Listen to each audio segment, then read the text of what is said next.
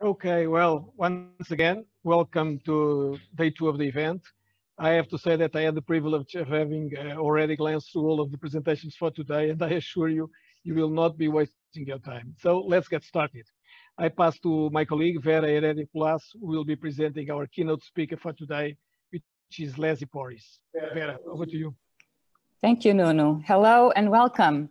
It is my great pleasure to present our next keynote speaker, Lesley Pories, who is based in the, in the US and is joining us from Kansas City, Missouri. Lesley is the manager of sector strategy at water.org, a global nonprofit organization that helps people to access to safe water and sanitation through affordable financing. Leslie has an impressive resume as manager of sector strategy, Lesley builds relationships and develops messages that can influence and spread water.org's innovative solutions to the access of water and sanitation finance.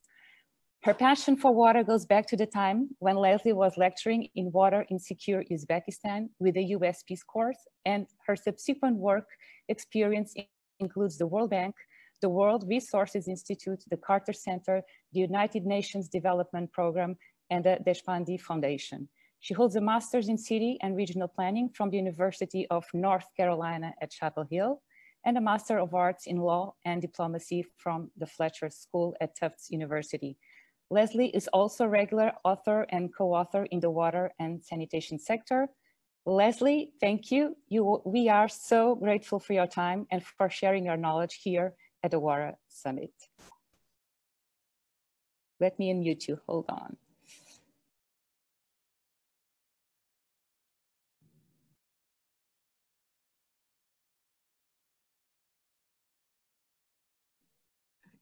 Thank you. Thank you for that, Vera. Um, I am honored to have been invited to be here speaking with you all today. And I think this is a great summit and a great, um, a great community to really discuss the work that water.org has done to really look at the water and sanitation crisis and solve it from a financial component and lens. Uh, next slide.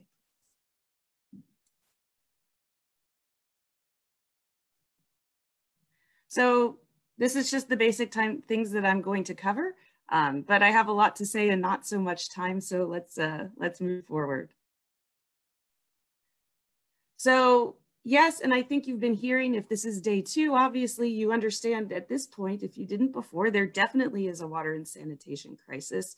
You can read all of these, you can read all of these numbers. I don't need to read them out loud to you, um, but I think there's, there's a lot of components here and let's move forward.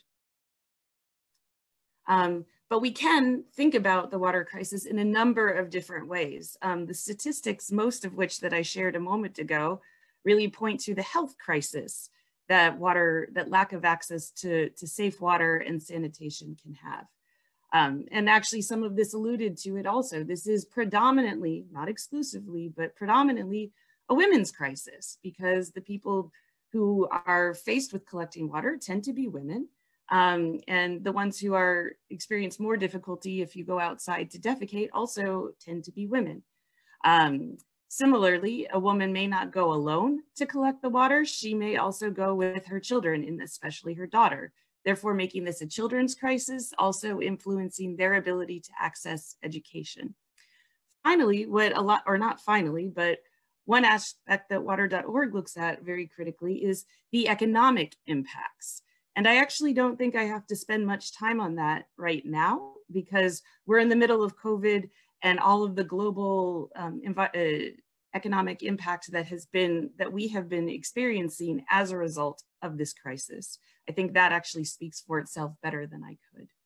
There is also an environmental component to this. If you are not if you are not accessing safe sanitation in particular, you can threaten the water supply. So all of these things, I could go on and on, but all of these things are really connected to each other. You just have to remember which one you want to think about at a particular time. And when you think about this, um, it's hard for a lot of us who, who are in the comfort, you know, the comforts of our home um, with all of the nice resources with sinks and faucets to not really think about this. But uh, um, if we move on, there is a, a video message um, from our more famous co-founder that helps you think about it differently. We're so used to having water right at our fingertips. You simply ask for it or you turn on a tap and it's there. I'll start with water. I need to have a shower. I would kill for a glass of water to start, please.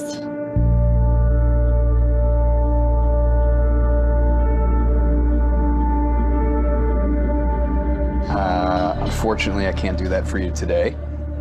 We don't have any water. I'm sorry. Okay, bit of bad news. There's no running water in the hotel. Oh, right, okay. Oh. Okay. You don't have any water? Yeah. Wait, what? Lá já não tem mais água. Não, o prédio No. Nos quedamos sin agua. Ya comandé su pedido. Va a demorar seis horas. Seis horas? Sí. Mas esperar seis horas por água, todo isso atrapalha um o dia de trabalho. Usually takes them quite a few hours, like six hours. You have a manager I speak to? You just get through the day without water. Not everyone has it. Not everyone has it, but people need it, and if you come to a hotel, you, you kind of expect it. I'm just like, should I go somewhere else? I, my time is very valuable. Yo voy a ingresar. No, no, vamos. No, que o sea, seis horas. One minute. 60 seconds. I'm just gonna call him really quick. I'll be right back. I Okay, promise. 60 seconds. If you could just hang one second, I'll, I'll fix all this. I'll, all right, I'll, like, one more second, and then otherwise I'm gonna have to go somewhere else. Be right back. Thanks. Hey, you. Hi, it's Matt Damon. It's hard for us to truly imagine what it would be like to not have access to water. But for 663 million people in the developing world, reality is different. Millions of people spend up to six hours every single day just to collect water. Can you imagine what that would be like? If you had to choose between having a job and having the water you need to survive. What if it was your sister or your daughter who didn't have time to get an education because she had to spend hours a day securing this basic human need instead? So that is why Stella Artois has partnered with us at water.org because we want everyone in the world to have time for what's important to them.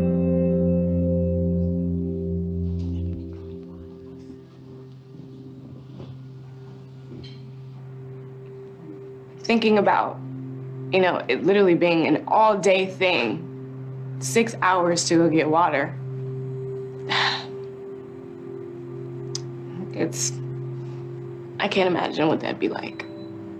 Ou não ter acesso à água de maneira, de maneira fácil é impensável. Actually got me thinking, gosh, what, what am I complaining about? Es que en el mundo es un problema real. Me emocioné. I don't know, maybe I take water much more granted than I thought.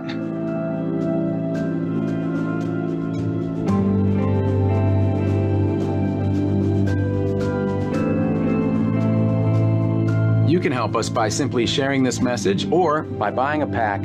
You can help give back their precious time. Together, we can change this. Together, we can give them time back. We're so. Thank you for that. And that is not, that's not supposed to be an advertisement endorsement. That is definitely just helping you understand the, the scope of the, the situation when it can be really hard to comprehend it from, from where we are.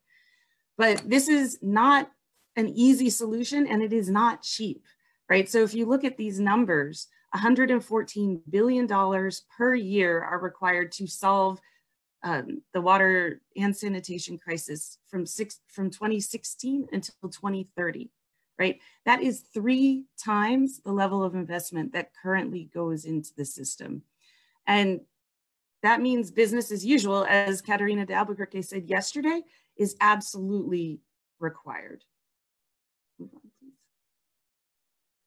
So, so what do we do? What is the what is the new business as usual, right? Well, this is the fun part. So um, we as water.org, co-founded by Gary White alongside uh, the more the more visible Matt Damon, um, has been thinking about solving the water and sanitation crisis from a financial angle for um, more than 15 years now. Um, I'm excited to say that back in the beginning, when we started pioneering these solutions, we were a little bit on the periphery and no one really wanted to talk about the financial aspect of water and sanitation. And these days, um, there is a lot more, there is a lot more understanding and thought around this process. So you can see we're across 13, we're active, I should say, in 13 different countries right now. And we work on the ground with um, nearly 150 different partners.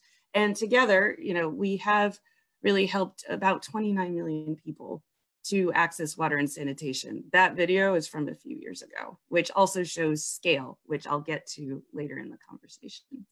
Next slide. So fundamentally, um, what this is what we do and our core flagship model, right? We work, we partner with local financial institutions. They are already present in a country. They are already lending to lower income groups. And we say to them, hey, we think you should develop a loan product specifically for water and sanitation. So people can connect to their existing water source or dig a well if they need to, or construct a toilet. And usually the gut reaction of the financial institutions are like, no way, that's crazy. Um, you don't earn money off of a toilet. Like that's a high risk. I don't know that these people are gonna pay me back.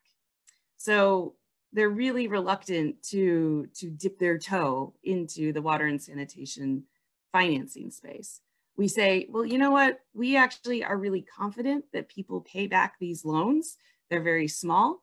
And we're going to help you out by giving you a teeny bit of project preparation funds, basically. We give them a very small grant, but it only goes into the research that they have to do to design what is, how much should a loan cost? You know, how much does a toilet cost? How much does a water connection cost? Assessing their market.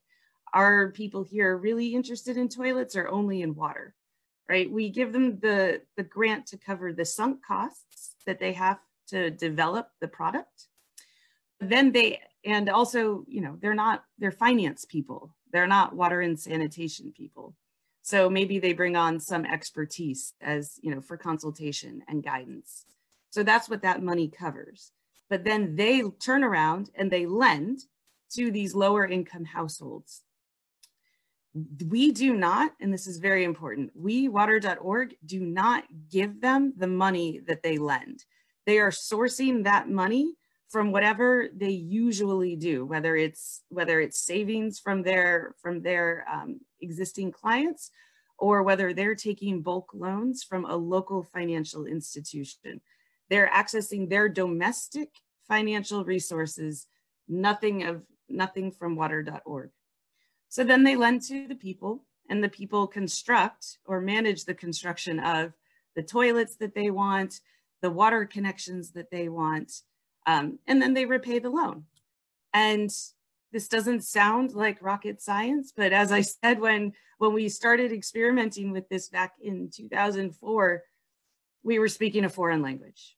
I'm excited to say that it's not the same anymore and we can move on.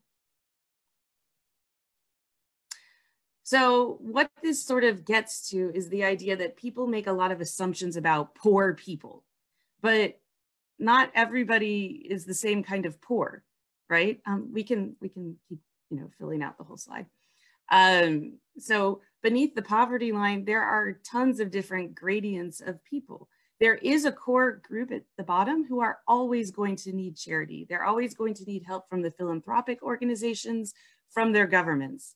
And, and that is a very important role that needs to be played by those organizations.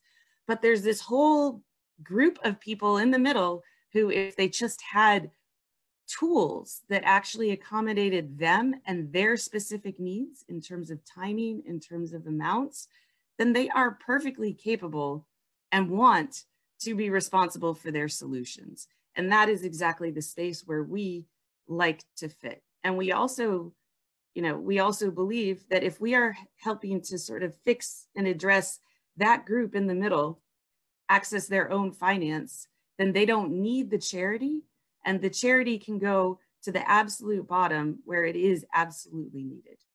Uh, next slide, please. So what, and the question that I usually get is, what does this actually look like on the ground? In, so I wanted to do, and there's actually two slides related to this. I'm first gonna show you what this looks like in India. And it's, you know, um, and India is where the bulk of our, of our impact has been. Um, so and you can see that water loans tend, you know, have a couple of different, have a couple of different varieties here. More often than not, it is actually paying the connection costs to link into an existing piped system.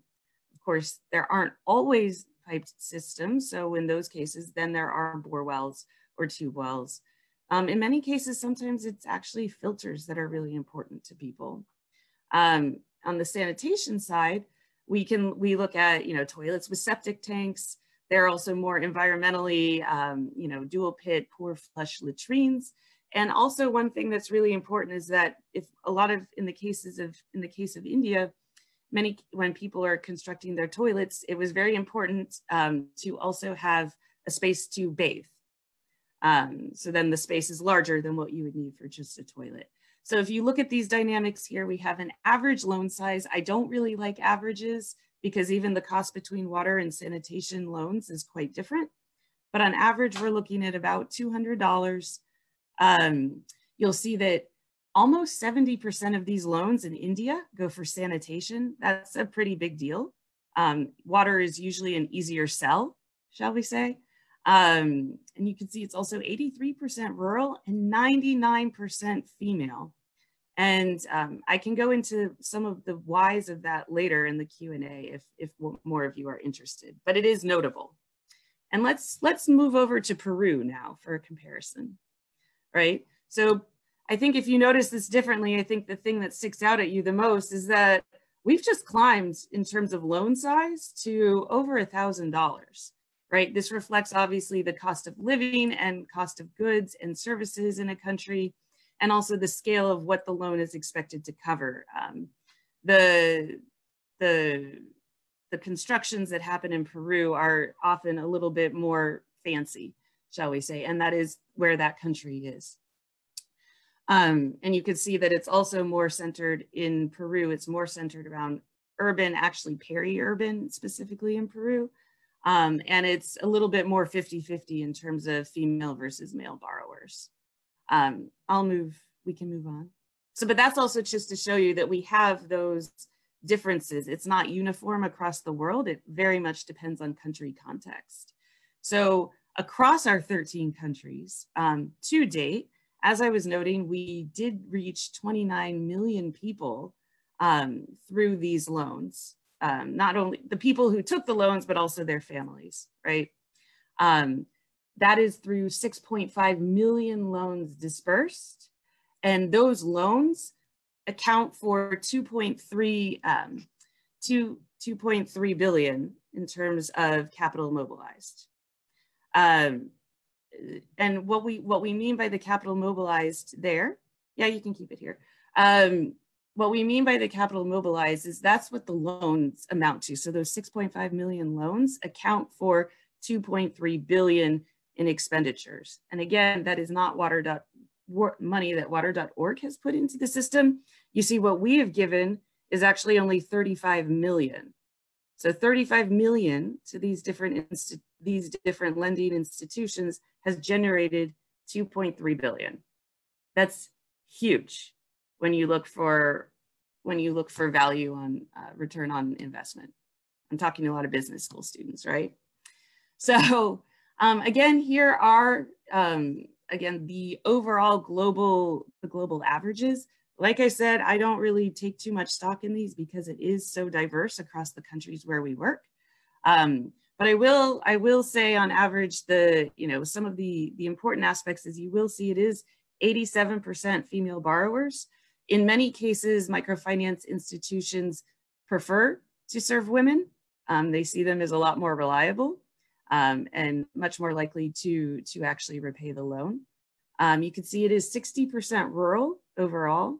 You can see that our repayment rate is 99%, which goes against all of the all of the theories and misperceptions that, oh my God, these are poor people and they're not gonna pay me back for their toilet, right? And I also will note that um, almost 90% of the households that we serve have daily incomes of $6 a day or less. These, these, are, these are critical uh, statistics. And you can actually, and from that $6, you can break it down even further here to understand that.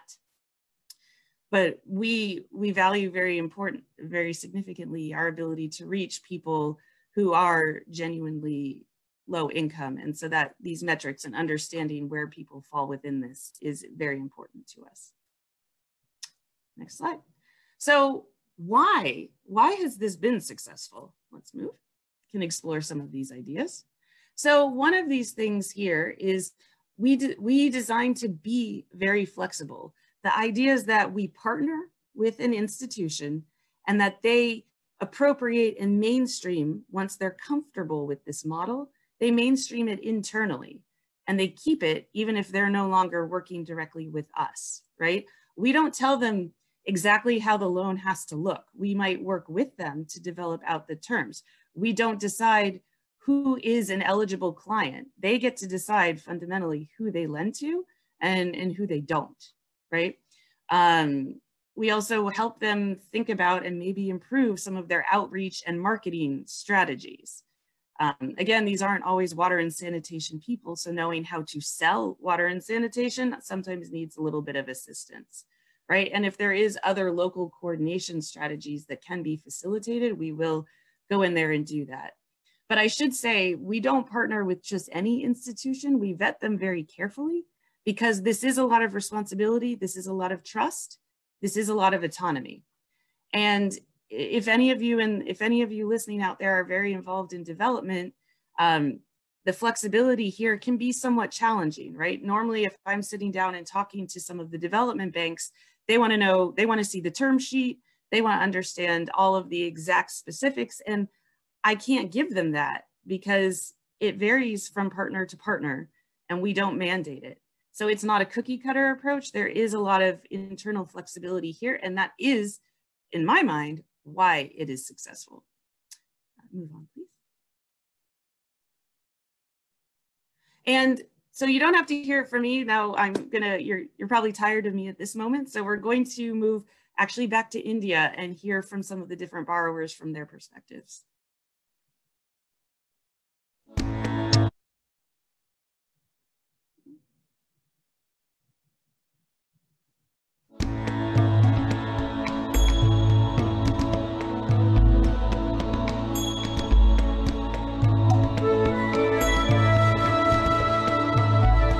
మాకేంటంటే మనకు bathroom ఉంటే బాగుంటుంది మంచిగా అనారోగ్యాలు ఎక్కువ రావు ఒకటే bathroom ఉండడం వల్ల మోరు నిండిపోయి ఇబ్బంది ఎక్కువ ఉండేది ఇప్పుడు సపరేట్గా ఉంది కాబట్టి ఏం కష్టమేం లేదు లోన్ కట్టుకోవడానికి కూడా మాకు ఈజీగానే ఉండేది There are a couple of reasons why microlending for water and sanitation at the household level has been so successful in India. From the consumer's point of view, this solution gives them the freedom to design what is most appropriate to meet their own needs, keeps them vested, and really increases usage of the facility. From the lender's point of view, uh, they have been comforted that the repayment rate right from the beginning has been close to 100%. And they've also realized that lending for water and sanitation is not just good business, it also leads to huge improvement in the social condition of their borrowers. हमने इसमें sir latrine bathroom बनाई है पहले sir था लेकिन थोड़ा असुविधा होती थी सर इधर दूर पड़ जाता था उधर पास बना ली पास तो में टाइम की पड़ता है बचत हो सर। जाती बच्चे टाइम समय पर भी- तैयार हो जाते स्कूल जाने में दिक्कत और नहीं ये आपका खुद का हो गया हाँ जी பொது கடையில் ரெண்டு குடம் தான் கிடைக்குது பழையபடி நம்மளுக்கு வே- பத்து குடம் நாள் நமக்கு வேணும்ட்டு களஞ்சியத்தில் ஐயாயிரம் எடுத்தேன் இப்போ பரவாயில்ல சார் அதே நி- நிம்மதியாக பத்து குடம்னாலும் நிம்மதியாக பிடிச்சிட்டு நான் ஆளுகள் என்னாலும் கூட பக்கத்து வீட்டில் இருக்கிறவங்க கூட பிடிச்சி வச்சிருவாங்க விடியால தண்ணி வந்துச்சு நான் போயிட்டு அவங்க பிடிச்சாங்க ଆମକୁ ନାହିଁ ସେ ସମୟଟା ବି ବଞ୍ଚିଲା ଆହୁରି ଆମେ ସେ ରୋଗ ଦାଉରୁ ସେ ଆମେ ବାହାରୁ ଯାଉ ସାର୍ ଝାଳ ଝାଳ ଗୋଟେ ଧରି ସାର୍ ଆମକୁ ଲାଜ ଲାଗୁଥାଏ ସାର୍ ଆମେ ସେ ଲଜ୍ଜାରୁ ବଞ୍ଚି ପାରୁଛୁ ଆହୁରି ଆମେ ସେ ରୋଗ ରୋଗ ଦାଉରୁ ସାର୍ ଆମେ ସୁରକ୍ଷା ପାଇପାରୁଛୁ ಲೈಫ್ ಸ್ಟೈಲು ತುಂಬ ಚೆನ್ನಾಗಿ ಬದಲಾಗಿದೆ. ಮೊದಲು ತುಂಬ ಇದ್ರಿ. ಆದರೆ ಇವಾಗ ಮನೇಲೇ ಇರೋದ್ರಿಂದ ನೈಟಲ್ಲಾದರೂ ಪರವಾಗಿಲ್ಲ ಡೇನಲ್ಲಾದರೂ ಪರವಾಗಿಲ್ಲ, ಯಾವ ರಿಸ್ಕ್ ಇಲ್ಲ. ನಮ್ಮ ಪಾಡು ನಾವು ಇರ್ತೀರಿ. ಅವಾಗಾದರೆ ಸ್ವಲ್ಪ ಭಯ ಆಗ್ತಿತ್ತು ನೈಟಲ್ಲಿ ಏನಾದರೂ ನಮಗೆ ಲೂಸ್ ಮೋಷನ್ ಏನಾದರೂ ಆದರೆ ಕಷ್ಟ ಆಗ್ತಾ ಇತ್ತು. ಹೆಂಗೆ ಹೋಗೋದು ಅಂದ್ಬಿಟ್ಟು.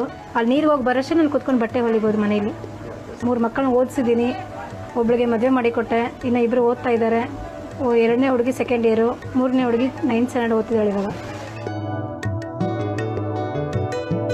शौचालय बनवाने से जीवन में कुछ बदलाव आया? हाँ बहुत से बदलाव है से बाहर नहीं जाना था एक घंटा आधा घंटा समय ही चलेता था।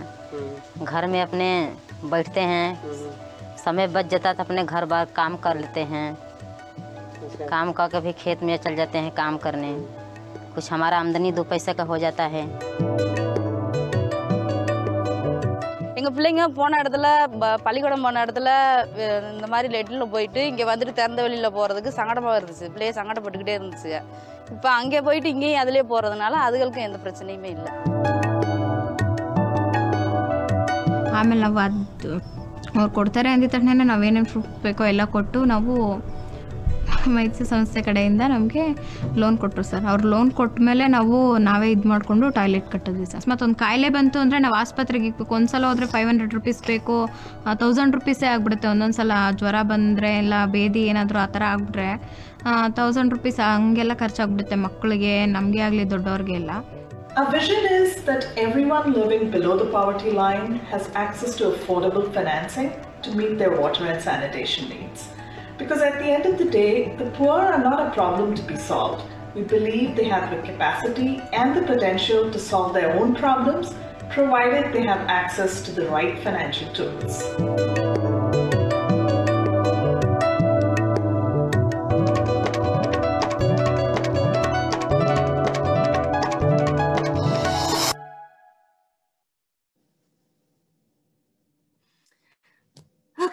So yes, so a lot of videos, but again, this is this is a system that it is working. And then what we realized was that it was working. And then we wanted to take it to scale. And I'm sure that is a topic that comes up with your in your studies, et cetera, all the time. So let's move forward. So, and again, you could see water.org didn't just immediately start with success, right? I mean, we definitely were, it was a, it was a concept that was new and people weren't super comfortable with it. Um, and again, we actually started in 2004, which isn't even on this, which isn't even on this, right? But I would say it was 2011 when we started to pick up. So you can see here that we've actually, especially within the past few years, been able to really scale um, and, and accelerate this impact. And the question is, what's, how have we been able to do that? Because, and how do we keep doing more of that? So we've started expanding the way in which we work. The model that I've described to you remains our core model, and that is the direct, you know, one-to-one relationships that we have with financial institutions. But we've started thinking about different type of institutions, not only financial institutions. I'll talk a little bit later about some of our work with utilities as well.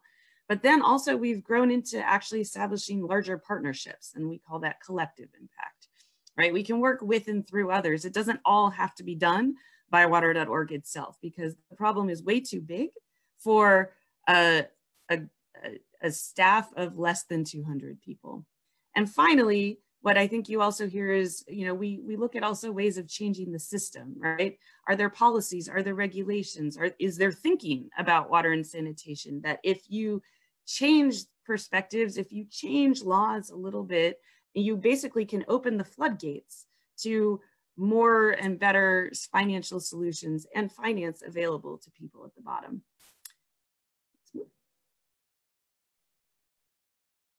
So as I just said, um, this, this is a lot of writing here and I'm not going to actually, I can simplify this quite a bit.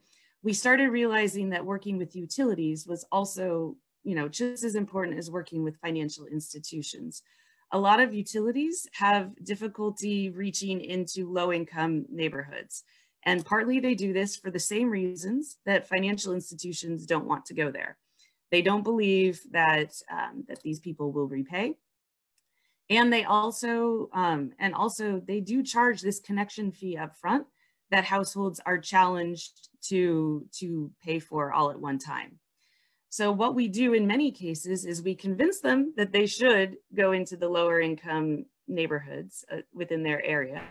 And then we also help them to develop installment plans internally. So maybe people don't have to pay the whole connection fee at one time and they can embed it with their monthly water fee that, you know, over a period of, of a year or something like this. So that's part one. We also work with the utilities to help them um, to help them do things that I think a lot of you guys are doing with your MB, you know, with your MBAs, develop business plans, improve their operational practices, basically everything that if they were to apply for a commercial loan, they would have all of their, we would say, ducks in a, in a row, right? Because usually utilities are staffed predominantly with engineers. They get their money from municipal governments, right? They don't, they don't have people who, are, who can do financial planning, business planning. Um, so we have these two different, we have these two different work streams where we help the utilities to improve their business to access finance and also help them develop their internal tools to reach into and further within the lower income neighborhoods. So I'll move on. And we can cut, yeah, just go through all of this. I'm, I'm only going to glance over this really briefly, but we also look at you know, when we go back to the financial institutions, you know, some of them are happy to accept grant money and that's all they need to be incentivized to do a little bit, you know, to develop a new product. But some of the bigger banks say, we don't need your money. Like, we're not worried about that, but we're worried that these people won't repay. So, what we've been developing in cooperation with the IFC is a global credit enhancement facility that is about to roll out at this moment um, in India, and we're already looking at next countries for replication and expansion. But the idea is that IFC will provide 50% of the fund, and we will, we, water.org and other donors provide the remaining 50%. And this becomes a first loss guarantee that is offered to banks that will lend for water and sanitation purposes. So we're further reducing the barriers um, and de-risking, you know, from a perception standpoint and a real standpoint, um, the lender's ability to play or willingness to play in this space. And let's move forward. I should actually say um, that this is the first of, of many different sort of financial, larger scale financial transactions that we're looking to facilitate. And again, when I talk about sort of the influencing systems change, this also requires, again, that perception doesn't change, doesn't change fast, right? So this requires us engaging with a lot of different actors in different varieties, whether it's, you know, having Matt Damon meet with Jim Kim, who was then president of the World Bank, whether it's writing and co-writing papers with other, um, with other sector experts to help stimulate thinking, um, and these two of these pictures are also from close work that we've done with the Ministry of Drinking Water and Sanitation in India, which is now called the Ministry of Jal Shakti. But really, and also they happen to already have a national sanitation campaign that was very easy for us to help them understand how some of these ideas aligned with their own national objectives. So there's a lot of different ways that we continue to play and we continue to evolve and think more and differently about what else can be done because 2030 is only getting closer and there's still a long way to go. So with that, I probably extended my time and I apologize, but um, thank, thank you. you. Thank you so much, Lesley. It was really uh, wonderful. Um, it was really interesting and uh, it's amazing to see how we live in our uh, bubble and um, seeing this reality from a, a totally different uh, perspective. It's very valuable. Um, and it is really amazing to see what you have been doing uh, in the field for more than 20 years, empowering all uh, people, uh, people all around the world, giving them access to safe water and sanitation through these financing tools. You know, this, is, this subject is very dear to us at Católica Lisbon. Earlier this year, we signed a partnership uh, with the Yunus Center Dhaka to work on um, solving social and environmental problems through the implementation of the social business concept. So this is, this is an issue that it's very relevant to our school. Uh, I have a couple of questions. I also have questions from the audience, uh, and I'm going to try to at least, um, you know, deal with the time that we have um, and would be wonderful to, to, to understand a little bit better.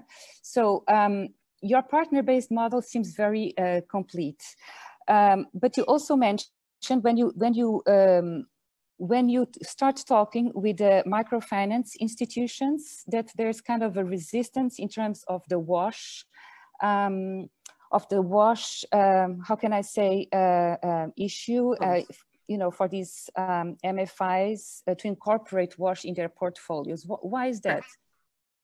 Yeah, well, because again, when in microfinance traditionally, and when it started in Bangladesh, um, it was done for income generating purposes. So you give you give a poor person, uh, you know, a loan so they can buy a cow and start a dairy, or you give a woman a small loan so she can buy a sewing machine and some supplies and start a seamstress tailoring business, right? And they can bank and they tend to not really charge any kind of collateral or require, I should say, any collateral. So they're banking on literally the fact that these people will be successful at whatever their business is. And that is what will generate the repayment for them. They don't see an income generation connection with water and sanitation. As I said, they say, you know, they're not going to earn money off this toilet. So how are they going to pay me? They're poor. How are they going to pay me back? And I can't repossess a toilet, right? Or what, I'm going to dig up their water connection pipes? Like they, yeah, it's, and also these loans, yeah, it's, it's just a, a core lack of, uh, it's a fear. It's a fear and it's a misperception. Right. So it really looks like, um, so looking into the pyramid that you really have filled, uh, um, I would not say middle tier because we are talking about the poverty uh, line, but you are not charity, right? So you're not a charity oriented program. So this is no. something that people should be aware that you are actually providing people uh, with uh, financing uh, tools in order to get access to, to water, that it's not donated, right? Yes, and I should say again, we give a very small grant for some operating expenses, for some research and development expenses to the financial institution or the utility. Um, we don't give them money that they lend. They have to source that locally. And if many of you, probably in some of your, your studies or whatnot, you're looking at the different SDGs, Sustainable mm -hmm. Development Goals, I imagine, and SDG 6 you know, SDG 6 is the one for water and sanitation. Um, when we talk about those numbers, that 14 billion per year, that's for achieving X, SDG 6.1 and 6.2. And I should have actually said that that number is only for capital infrastructure, new infrastructure. It doesn't include operations and maintenance costs. Those haven't actually been projected. Um, we need to stimulate more domestic sources of capital from the countries themselves. We need to bring in more private investment because as we said, the donor, the donor and philanthropic community isn't going to be giving more, right? And it's, you know, we need three times more than what's being input now. So we need more of these kind of solutions that really can figure out ways to actually generate that money from the countries themselves and from new and different types of of players.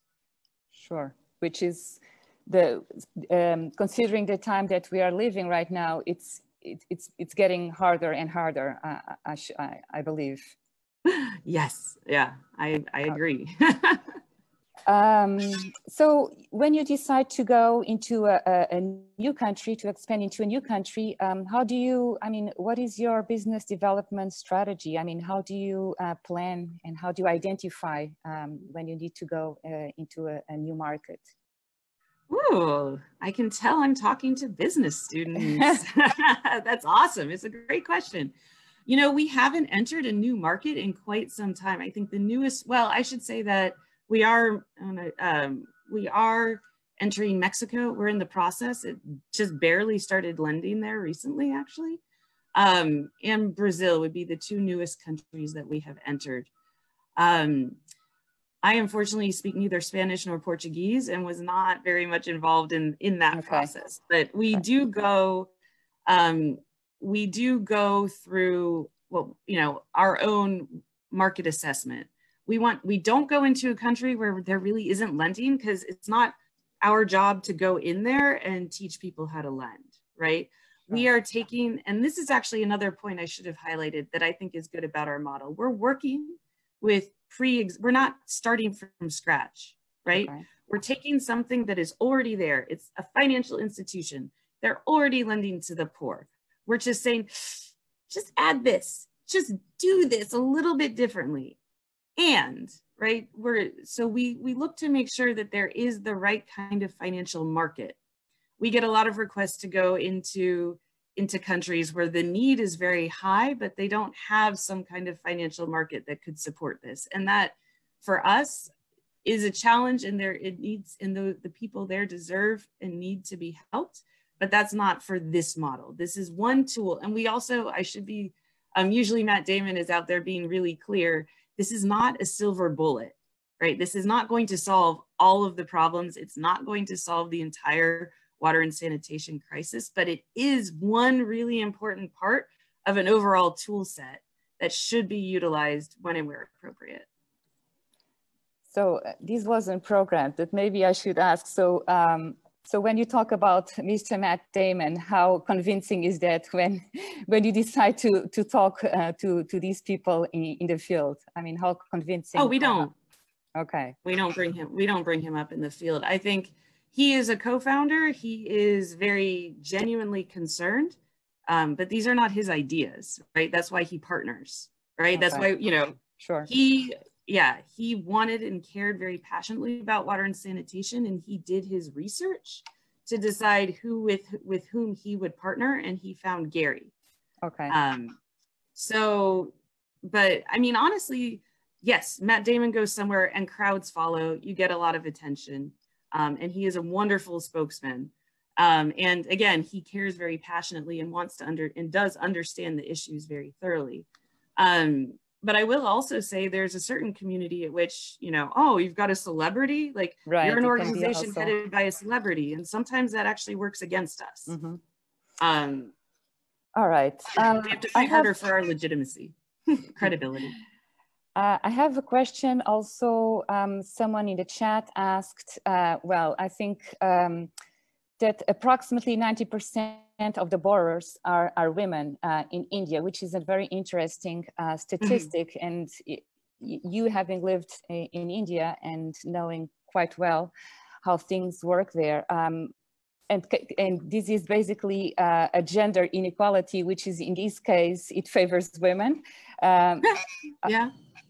Can you elaborate a little bit on the causes for that, for, you know, for um, MFIs granting um, you know, borrow, uh, granting the, the, the, the grants to, to women actually? Sure. Um, well, so, and this is, I mean, and again, there's, yeah, so for women, um, again, it's understood that, you know, women are the ones who are going to feel this issue of having to go outside and having to collect water or going out to defecate. They're going to feel it more strongly than men um, in general, obviously not always. Um, but MFIs, by and large, especially for maybe non-income generating loans, education loans or whatever, they tend to prefer lending or, or some institutions only um, lend to women. And I, I touched on this earlier, but they consider women to be much more reliable clients. If a woman takes a loan, they don't think she's going to drink it away or gamble it away. And however accurate that is or isn't, that is a very real perception. Um, so they consider women to be much more reliable. There are also in many of these countries, and especially in India, there are a lot of efforts around women's empowerment and women's economic empowerment. So there's also a lot of, I would say, um, priority put on lending to women. And within India in particular, you have MFIs, but then you also have self-help groups that engage in the similar, in the same kind of, um, in the same kind of group borrowing where you might have a, a group of 20 women who get together every week. They're from the same village. Um, they know each other. They know where each other live. Um, they pool their resources into like one overarching fund and then will approach a bank as a group. And this is a group lending mentality. The bank will lend to the group. It won't lend to you, Vera, or me, Lesley. It lends to the whole group of us here. And so if one of us can't make our repayment, the whole group has to cover for that person. That's great. Right. They get and that creates a lot of social pressure to make sure that, again, because everyone, they're all neighbors, right? You can't right. miss a loan and then like skip town, you know? So there's sure. a lot of different layers in that. Okay. Um, yeah. Perfect. thank you, Lesley. Um, your time, uh, well, our time is uh, our time is up. Uh, I thank you so much for uh, your presentation, for this uh, great discussion. Um, and I hope to see you one day uh, in Portugal and we can meet I hope so. in person. Um, and now I'm gonna um, give the word to Manon.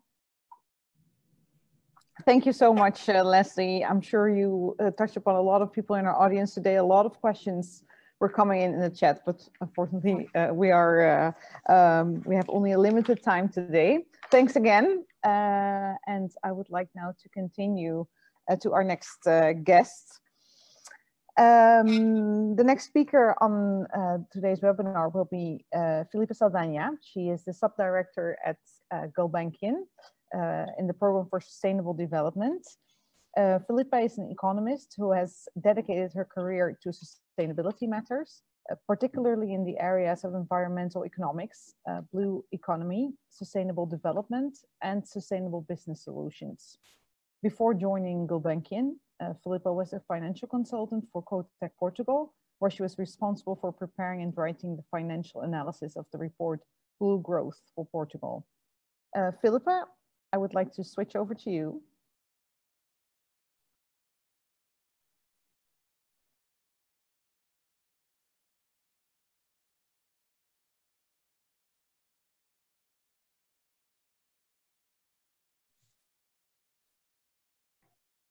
Okay, can you hear me now? Okay. Yes, perfect, thank you. Sorry. Um, good afternoon. Uh, thank you very much, Católica, for organizing such an important and forward-looking summit, and of course for the invitation. Um, I will talk today about uh, the main message that uh, result from uh, a study promoted by the Carlos Gulbenkian Foundation about the water use in Portugal. Uh, important to say that this study is authored by the Consumer Intelligence Lab, which is an outstanding team that we have been the, the, the, the pleasure to work with over the last year. So uh, before we, we designed the, the study, uh, our ambition, uh, we wanted uh, we wanted to have a solid a solid base of knowledge that might help us to to activate specific specific actions that would promote the, transition to a more efficient and sustainable use of water in Portugal. Uh, so most specifically, we will aim to raise awareness and to mobilize different actors that could accelerate uh, sustainable water production and consumption patterns. So since uh, the agriculture sector um, represents 75% of uh, water use in Portugal, you'll see that this work has a strong focus on the agro-food uh, value chain. So the, the, um, the C-Lab has performed uh, more than 1,000 questionnaires to farmers and citizens, 50-50, and also uh, 52 interviews with different uh, organizations from civil society. I'm talking about companies, business association, environmental NGOs, experts. So our results come from a solid background of information and knowledge that was retrieved specific for the purpose of this study. So today I will briefly talk because this is a giant study. It was two study, two field studies in one one directed to the agro-food sector and the other one to the citizens. So today I will briefly talk about the 10 key message that Gulbenkian will use in the short run to promote a sustainable use of, of water in Portugal. The first message is not a, a finding of the study, it's just a fact, uh, but is very much related to our long-term vision and understanding about the importance of building resilient societies uh, that are capable of adapting to global and environmental risks. Uh, this was, of course, re reinforced with the current pandemic, the importance of building resilience. resilience. Um, Portugal is classified with uh, a high risk of water stress. Uh, so there is a, a, huge need to anticipate scenarios of scarcity and to mitigate the risks uh, in the next two decades. So one of the key finding, finding message is that, um, can go next, please, is that the lack of measuring of water in agriculture is delaying the transition to a sustainable use of this resource as, it as its value becomes invisible. Um, according to the study, 71% of farmers do not have water meter and 61% do not pay the water they use in agricultural practices.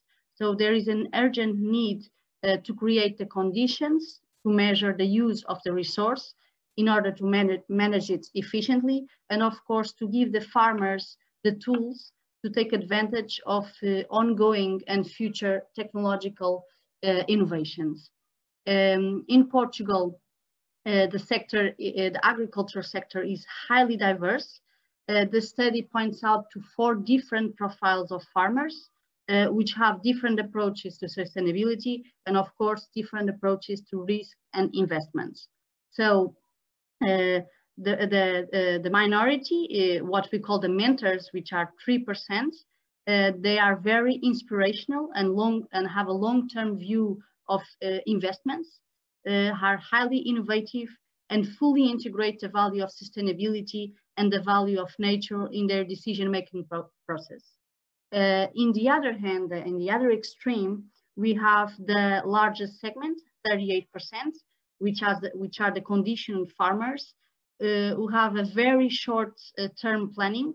Uh, they plan in a yearly basis and are very and are struggled by low pro profit margins. So these, these farmers are very, the, the biggest concern is about the, the prices they are paid for the production, for the production, which are extremely low. Uh, in the middle, we have uh, the leaders that invest to innovate and the followers that invest for short to medium term profitability. So in the study, we can, you can find a very detailed characterization of these four segments. We don't have time to, to, to, cover everything today, but it is just for you to, to have a, a view of the diversity of the, the sector in Portugal. Um, in the next slide, we focus on technology. This is obviously a very important variable in this equation. Um, not only there is a need to accelerate technological innovation, but there is also a need to do it in an inclusive way uh, not leaving any any farmer behind. So it is it is important to for us to be important for us Gulbenkian to design capacity building activities that are adequate to the different profiles of farmers in Portugal. And here techno tech, technical consultants, producers organizations, uh, the mentors and the, and the market leaders are, are, of course key players for us to induce this positive change. Um, according to our study, irrigate, irrigated farmers, the 3%, uh, that have adopted innovative technologies like agri-tech can save up uh, to 50% in water consumption. Uh, according to them, they can save up between 20 to 50% in water consumption, which is a huge uh, statistic. So in the next slide, yes, the transition uh, for us, the, transi the transition to a more efficient use of water in Portugal is an effort that cannot fall only to farmers, but to the entire, entire value chain. Uh, retailers uh, can be an important driving force in inducing a positive change uh, because they have a, a, strong influence on both production and the consumption side. According to the study, 98% of farmers sell on the, on the national markets. So a possible solution could be to create uh, water efficiency standards in order, in order to speed up the, the transition to a more sustainable food production. And actually, currently, 80%, 85% of, of consumers do not have uh, to comply with any requirements related to, to water. So uh, this and the, and the following slides will be more directed to consumers. Um, in Portugal, although people are empathetic about the, the intrinsic value of water and the, the intrinsic value of nature, consumption behaviors still do not reflect that. Uh, water is, uh, in terms of economic incentive, water is the resource that weighs the least in the family budget when we compare to electricity, gas, and other and, and other important items in our family budget and 71% uh, of pe people that answered the, the, the, our questionnaires uh, survey did not live nor do have any memory of uh, a water shortage, shortage in the region. So benchmarks uh, and this is a trigger for us to, in the next slide, um, benchmarks can help us to design good incentives. Uh, the example of the energy effici efficiency labeling is for us an incredible example of success. Uh, it is important to set new standards for the consumption of water, both in their daily behavior, but also in the adoption of equipment that allow us to save water without loss of comfort. And in the other hand, brands and, and companies um, can be uh, are powerful actors by reinforcing the message of sustainability. They are very close to consumers. So for, for Gulbenkian, this is also a, a, um, a target, a, um, a, player that can have can guide the consumer to a more sustainable use of water. They have a strong influence, a, strong direct influence on on consumers. So um, uh, according to the study, uh, water use is not yet a criterion in food choices. Um, historically, there have been uh, good water saving campaigns uh, in terms of domestic use. Uh, this one is an example of Colgate, uh, but the same is far from happening uh, in what relates to, to food choices. So for, for us, the first step could be, could be to make the consumer more aware of the weight of agriculture in the, in the water use. Um, so from this slide to the next slide, we conclude that emphasizing water in the commitment to sustainability uh, is the challenge to responsible food habits. As a consumer are empathetic about local production, production and biological production, we believe that highlighting water efficiency in the context of an environmental friendly local production uh, seems the most solid path to positive differentiation for responsible use of water. And finally, we have uh, the media. Uh, the media have an essential role in the uh, awakening of in the awakening of principles in society. Uh, new stories are needed. It would be very helpful if sustainability gain editorial relevance in a consistent and continuous way over time. And along with that, water-related issues need to gain that relevance within the sustainability agenda and not, for example, during dry season. So we need more uh, stories about sustainability and more stories about the water-related issues in a consistent way over time. And a powerful force too for us it's to give more voice to public influencers and mentors that are also a leading force for, for us. So the next step uh, in Gulbenkian would be to activate, um, sorry, would be to activate a strategic plan uh, that promotes, uh, that can promote change in, in the entire value chain of the, of the agri-food sector. So I, I, I tried to be really fast. I don't know if I passed the nine minutes. Uh, um, thank you very much for, for your attention. Uh, please let me know if you have any questions. The, the, this is the first time actually that we are talking about the, this study. The study will be, will be online uh, now or after my, my speech uh, at, in the Gulbenkian's website. Um, I don't know if you have any questions. We have a panel later that I will be moderating. So thank you.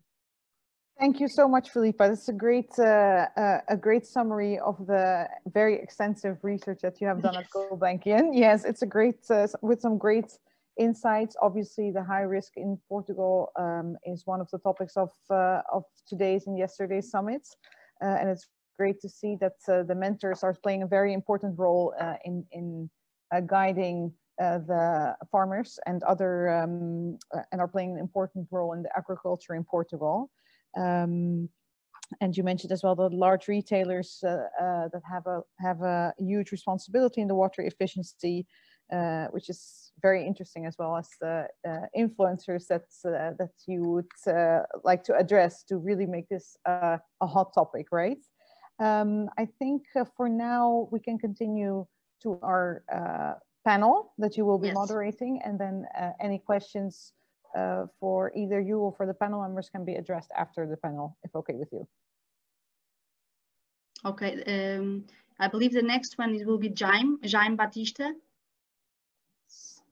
Okay, good. Uh, so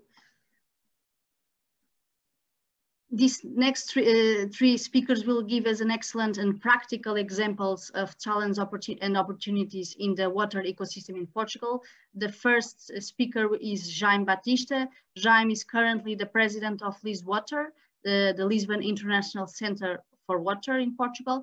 He is an experienced professional in the water sector with 44 years of activity dedicated to water, water supply and waste, uh, wastewater services. So uh, Jaime, please go ahead with, uh, with your presentation and uh, thank you very much.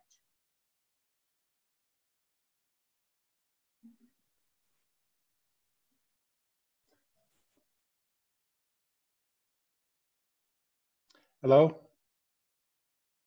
Hello. I have not the image, I believe, but uh, yes, we can. Do you we hear can, me? Yes, we can hear and we can see you. Thank you. Okay, very good, very good. Thank you. Well, it's a great pleasure for me to, to be here with you discussing those topics and the, the water topic, which is really very important. Let me say that I will speak uh, briefly about water services. Filippo spoke about water resources in, in my, uh, on agriculture. I will speak about water services. That means water supply, sanitation services. And uh, we all know those services are essential essential for our well-being, for our public health and our economy. And we have big challenge ahead of us uh, regarding those services. We need to improve effectiveness of those water services. That means to achieve the targets we want to, to, uh, to we decide before to achieve. We need to improve efficiency of those uh, water services. That means make that with the minimum costs so that those services can be affordable to the consumers. Uh, improving sustainability of those services at the economic and financial point of view, infrastructure, infrastructure point of view, and also environmental point of view. And uh, we also need that those services, public essential services, can have added value for environment, uh, can have added value for our economy, and can can have added value from, from uh, for our society uh, at large. Next slide, please.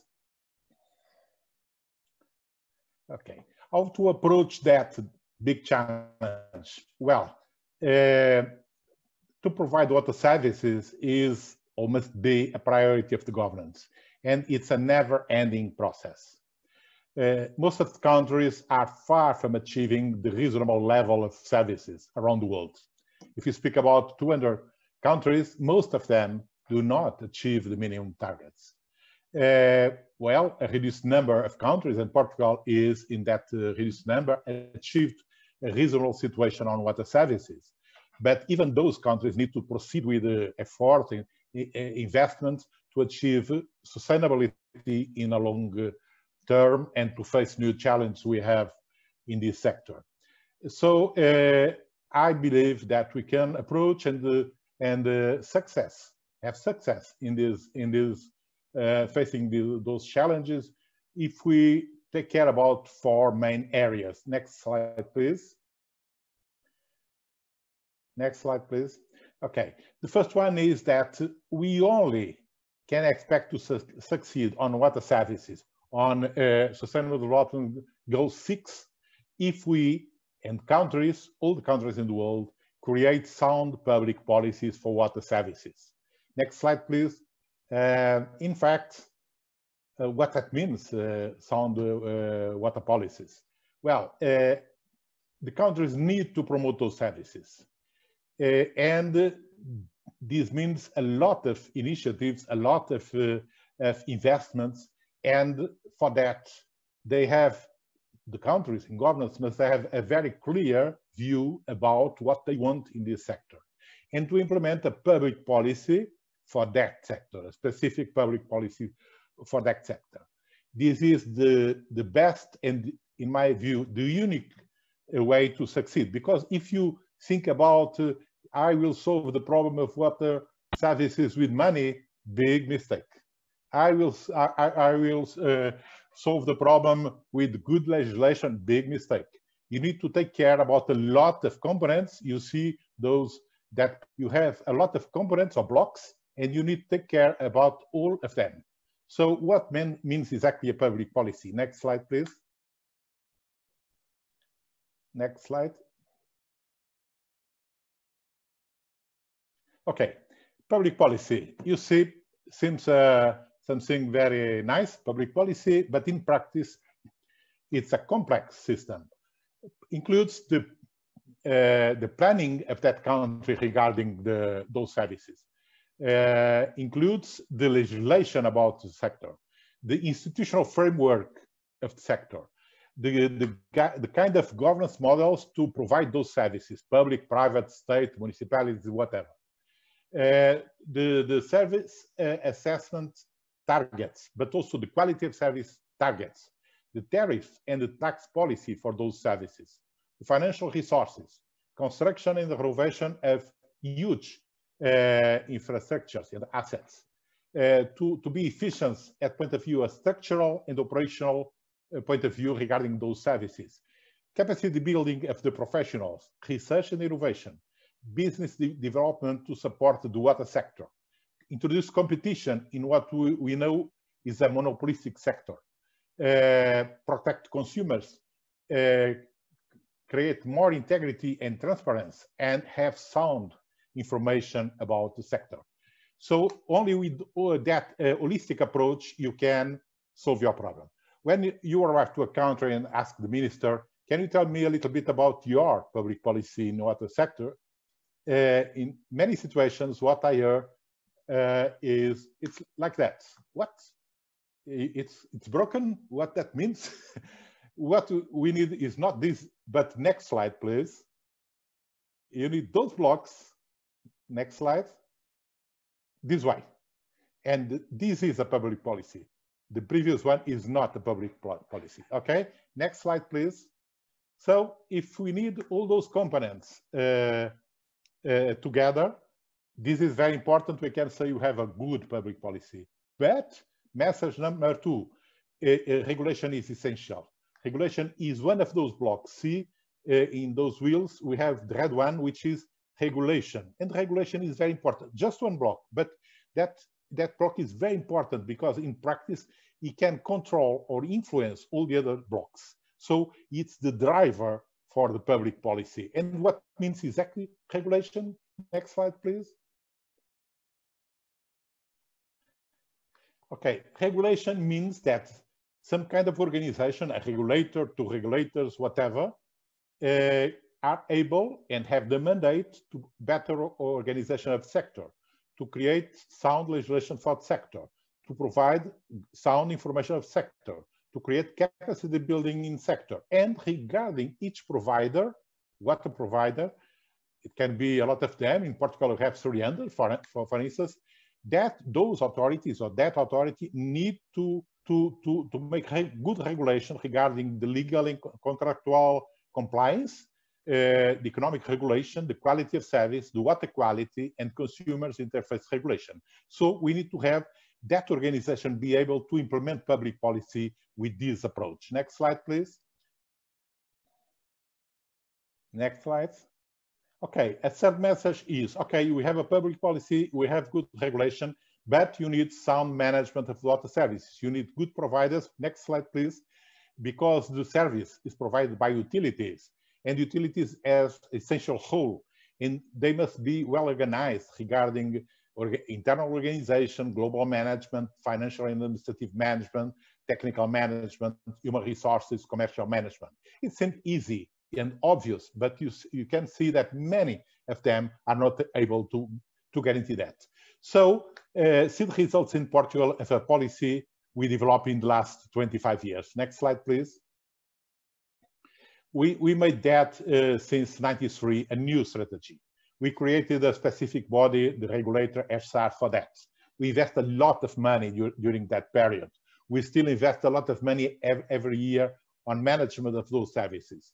We uh, have a huge amount, even a small country, a huge amount of uh, assets. If, if, you speak only about the pipes, we have 160,000 kilometers of pipe. That means to give four times uh, around the, the, Earth, uh, the, the Earth, which is impressive. Small country, okay? You see the amount of assets you don't see because they are in the ground, okay? So we got a lot of success, but also some, some unsuccess, some mistakes that we need to learn with them. Next slide, please. If you see those, uh, those you can, you can, can show all the all the figures, please.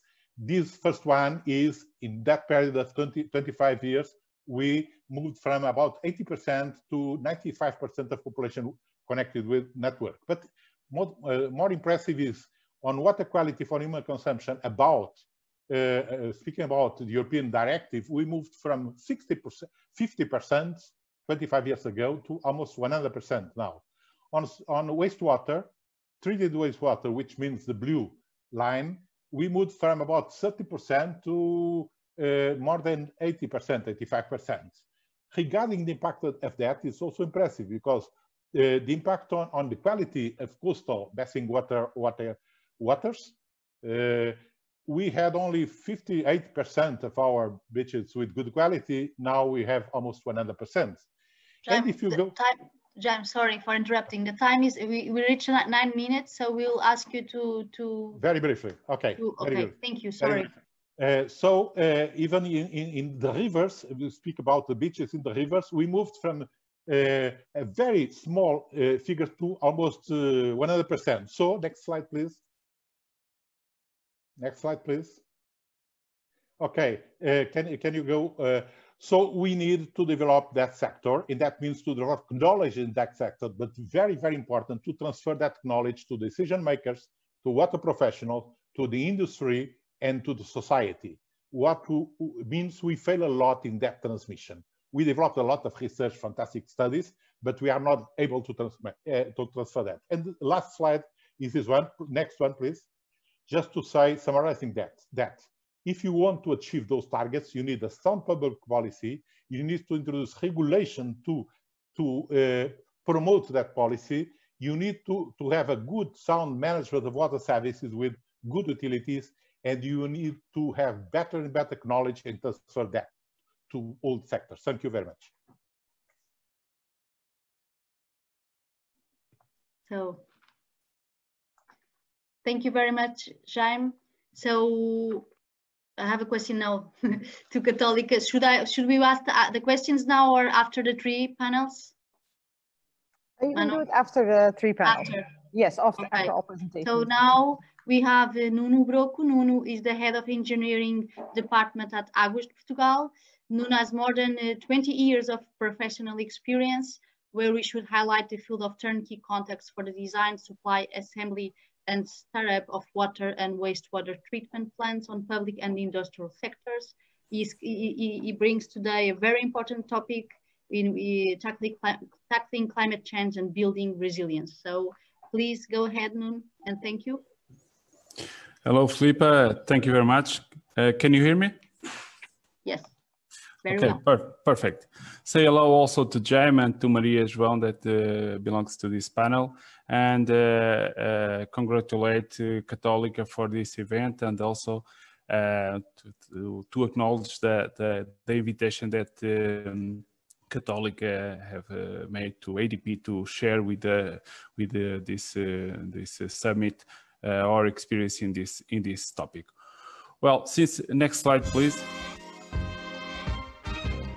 Can you take off the sound, please? Okay. Um, since uh, the audience is, uh, is, is uh, more or less diverse in terms of professionals, oops. Can you mute? Okay, thank you. Uh, I would like to present uh, ADP in a brief. Um, since since uh, um, uh, part of you don't know ADP, I would like to, to give a brief introduction to our group. We are a public uh, group, a national uh, utility. Uh, we supply water and treat wastewater to around 80% of the national Portuguese population. And we operate in Portugal through 14 companies. Today we are 14 companies. Uh, may uh, the most part of them are concession contracts, so long-term concession contracts, And uh, we also operate um, a little bit worldwide, providing technical assistance to other governments, regulators, and also other utilities. So these are our uh, main figures uh, from ADP.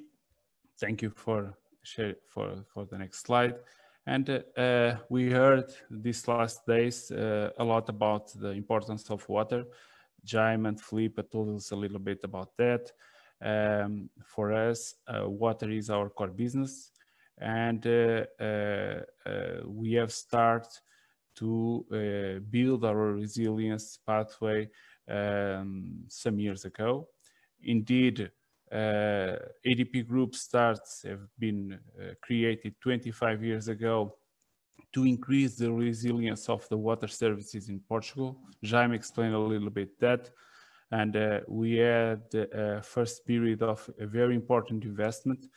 Um, after this initial period, period of a, a, very powerful investment, we have started to look a little bit ahead and uh, develop our resilience not only by the green uh, investments but also uh, using other uh, type of measures to increase our resilience. And uh, when we talk about resilience first in the first moment i think that we should talk about being efficient and this is uh, this should be a core um, concern of our companies then planning to uh, increase the resilience of an utility, uh, it is very important to uh, work at strategic planning and also at operational planning. Regulators are essential to help us and to uh, increase our resilience. Uh, you know that we operate under contract, uh, concession contracts. All our investments are approved by the regulator. So it is very important to engage the regulator, either the environmental, either the economic regulator in this pathway. Then the capacity to finance the investments and uh, last but not least, soft measures. It is very, very important from our point of view that the resilience is not uh, is not seen uh, only by doing new pipes, new dams, new water treatment plants. We need to have a set of uh, soft measures like communication, stakeholders engagement, and innovation to perform this uh, resilience. Next slide, please. Well, uh, talking about being efficient, I bring you uh, an example of uh, one of uh, ADP companies, EPAL. It is the oldest company in ADP group that have made an amazing work regarding the non-revenue water reduction and during the last 80 years, they have reduced the uh, water losses in Lisbon from 24% to around 8%. This is a, a, a, very impressive work. You know that the national average is around 30% on non-revenue water, and Lisbon is today one of the most efficient uh, cities on the world regarding non-revenue water. Can you put the, the film, please? Everyone knows that water is essential to life. Everyone knows that water is a limited resource. Everyone knows that too much water is wasted. But how much? 10, 15, 25%? At the present day, 50% of all the water entering into the worldwide distribution networks is lost. But do you know those situations where everybody wins? Usually they're called win-win situations. We call them 1-1. Water optimization for network efficiency is a network management and control of water loss system that develops in five steps. Installing district meter areas throughout the supply network, dividing it into sub-areas, continuous monitoring of each area, planning and executing interventions of leak detection, Sending the repair teams. The whole process happens with the support of a software application that automatically brings together all relevant network monitoring data. Lisbon, one of the most efficient capitals in the world in terms of water use, was the first city to apply WONE. Next slide, please. Well, uh, we have started in 2015 our strategic plan for climate change adaptation. And when I talk about climate change adaptation, I'm not only talk about water scarcity, but I will focus this presentation on water scarcity. We have developed at the first stage a global approach for all uh, operational companies. And in the second phase, we have uh, built uh, operational adaptation plans for each company. Means that uh, each company has their own uh, operational plan for uh, climate change adaptation. And we are doing this in a very uh, progressive adapt uh, uh, phase. So we are not performing all our investments at the same moment in the beginning. We are measuring the risk, we are monitoring the risk, and we implement the measures when we see that it's necessary. Next slide, please we are working at uh, different pillars. We are working at uh, water storage, and I bring you an example of uh, Algarve, um, uh, one of the Algarve investments that we have made in the last decade, that uh, was the Odelouca Dam. We are working on the reuse of the wastewater, and we are, uh, we are also work making interconnection between public water infrastructures and infrastructures that are used on uh, irrigation on agriculture. Uh, we are uh, working very deeply with EDIA, that is the, main, the manager of the big Alqueva Dam, uh, connecting uh, uh, infrastructures, using infrastructures in order to increase the resilience of our systems. Next slide, please. We are wor also working in innovation and uh, told us about the need to create awareness uh, in uh, the agriculture sector. This is a good example of what we are doing in this moment. We are using the sun, the, the, the solar energy to increase the quality of our treated wastewater. And we are putting that wastewater in the irrigation of uh, uh, trees, fruit trees, um, and this is a very interesting project because we are promoting circular economy through a renewable uh, energy uh, source. And we are, with the farmer, uh, uh monitoring the added value of use wastewater, treated wastewater instead raw water, because some of uh, the nutrients that goes that comes out from the, our plants with the treated wastewater are an added value for the, the, the, the crops. Next slide, please. Well, telling this, we see uh, a new paradigm for the, the water management. Uh, and this case of uh, Alentejo is a very good example. We are integrating our infrastructures. We are sharing information that are very important to share information with the, the, the farmers. We have their engagement. It's very important. We are exploring new water sources and we are creating awareness on, on, this, uh, on this region for uh, last slide, please. So for us, uh, build the resilience is taking care of these partnerships. And uh, we strongly believe that uh, we'll be, as an utility, much more uh, resilient uh, as we can go through these partnerships and involving not only the agriculture, also the industry, other water utilities, but also the regulators and uh, most important, probably the citizens. So I'll be free for any question. Thank you very much, Nuno. Um, now we have, um, okay. Now you have Maria João Rosa. Uh, Maria João is currently a, a senior researcher at LNEC, uh, the head of the urban water unit and of the water quality treatment and re reuse laboratory. Uh, during her vast professional experience, Maria João has led more than 30 water-related projects and participates in another 21. Uh, today, Maria João will share with us the, water, uh, the urban water challenge and innovation in what relates to efficiency and reuse. So please go ahead, Maria João. Thank you. Um, I, Good afternoon. Uh, many thanks, Filipa, for the kind introduction and uh, hi to you all. It's a pleasure to be here. Many thanks to Nuno and to, to Católica for inviting LNEC and, and myself It's a great pleasure to be here and to have the opportunity to share some of our projects on water efficiency and reuse, and also, of course, to learn from you. Um, I'm uh, from the, the um, so starting with the with the urban water challenges, many much have been said already, but uh, we have to cope with more demanding requirements every day regarding public health, public safety, see what's going on with the, with the COVID pandemic. Uh, also circular economy and resource efficiency, it's a, it's a, challenge. Infrastructure asset management, we have to keep the legacy of, uh, throughout the generations. Um, climate dynamics is driving natural hazards that we have to cope with, including water scarcity.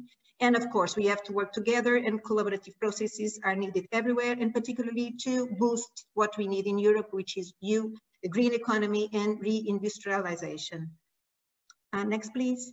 So in the our urban water unit of um, the Hydraulics and Environment Department at LNEC has four um, pillars uh, as research and development and innovation areas uh, starting with strategic asset management, um, water uh, and energy, water quality treatment and reuse, and reliability, safety, and resilience. And we develop these four um, research areas uh, with um, uh, mostly um, through peer-to-peer -peer innovation projects with water utilities. We want to work with the, those who have the problems, not for them. And uh, these, uh, the last years, we have been, uh, these are some examples, the numbers and of the peer-to-peer -peer innovation projects, which sum up to more than 170 utilities, many from the ADP group. And today I will also briefly, we'll have a glance. Can you come to the former previous one, please? Um, just uh, a glance on these on these highlighted projects and also on some new um, European project on reuse. Next, please. So starting with the PAIR, the a water losses and energy management in water supply systems project. Um, not much different from one that shown that it was shown by ADP, but uh, what we do here, we have a software, a tool to assess water losses and system uh, energy efficiency based on water and energy balances. Uh, we diagnose the performance and, and, develop the decision support. We support the decision on the, which measures to implement. Um, we have more we have uh, more than 30 water utilities with plans to to, to increase their efficiency, and this translates in overall 20% water loss, real water losses reduction, and 60 uh, percent energy uh, savings. And but the thing that we have, we go um, our our difference in this approach is that we look into the the system um, as a whole. We analyze the system. So, for instance, this example clearly shows that we are using three pumping stations to to elevate the water, and then we have a downstream pressure reduction. So we are pumping then to reduce the pressure. And next, please. And uh, if the, the, the, energy auditing, uh, uh, uh, the traditional approach is to audit the pumping station, we go further. Next, please. Next slide, please. And we do, uh, uh, we, we, sorry, the previous one. and uh, we look into the to the layout to eliminate what the pumps that are not needed and to direct support uh, supply the water to uh, to the elevation that it's needed so we we in this way we can save a lot of energy and also to to to control the, the water losses now next please and uh, what is next slide please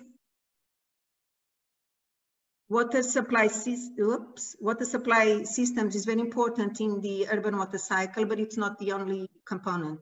We have to look into all the other things like drainage of wastewater, treatment of water, treatment of wastewater, reuse.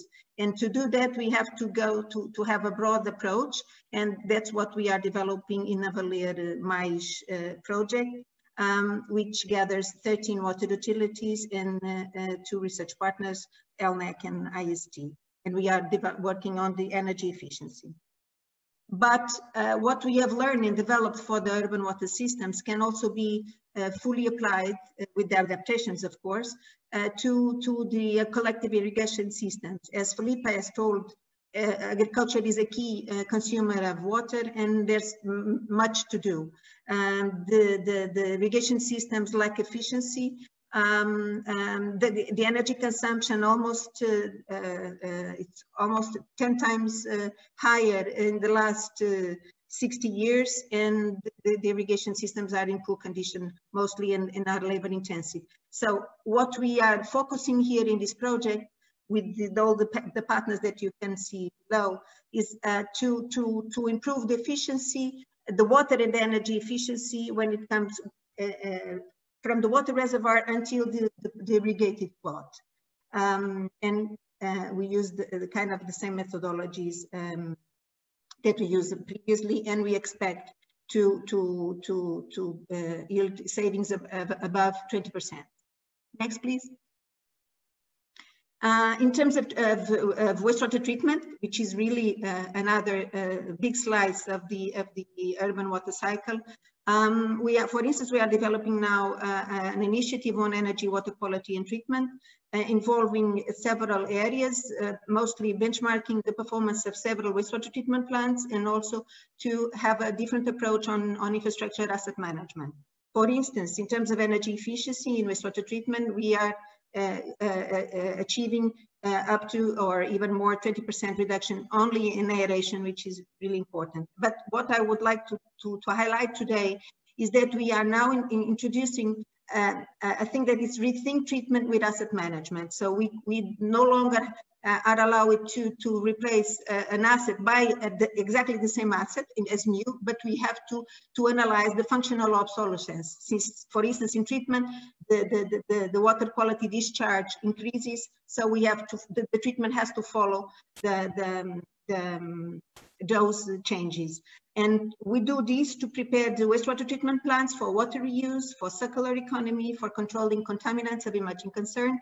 So ultimately to have climate change proof plants. Next, please.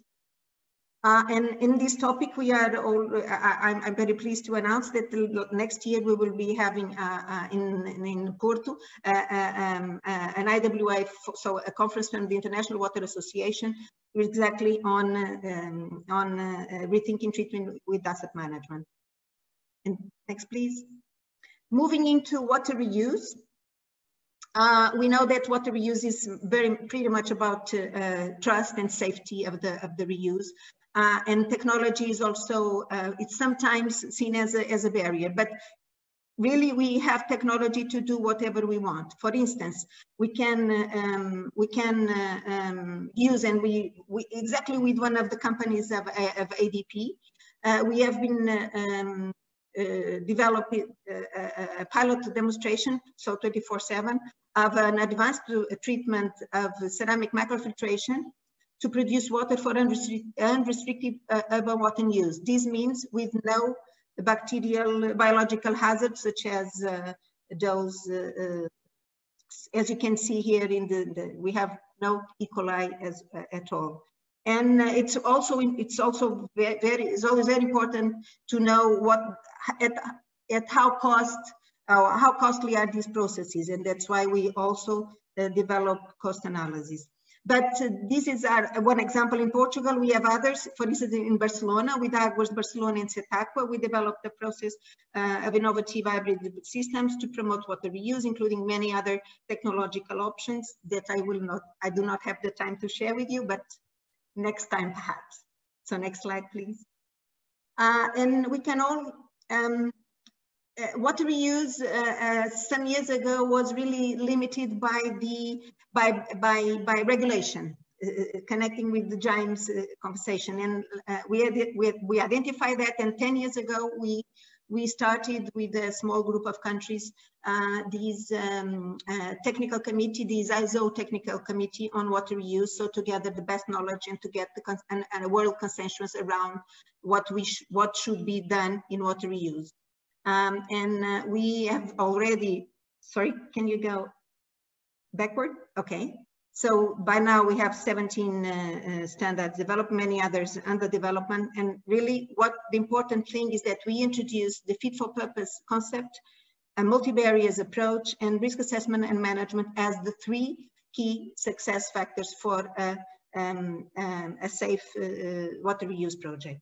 Next, please. João, one minute, sorry. Yeah, yeah, okay. I'm just, uh, just I'm to just, let you know. Yeah, yeah, I'm just finishing.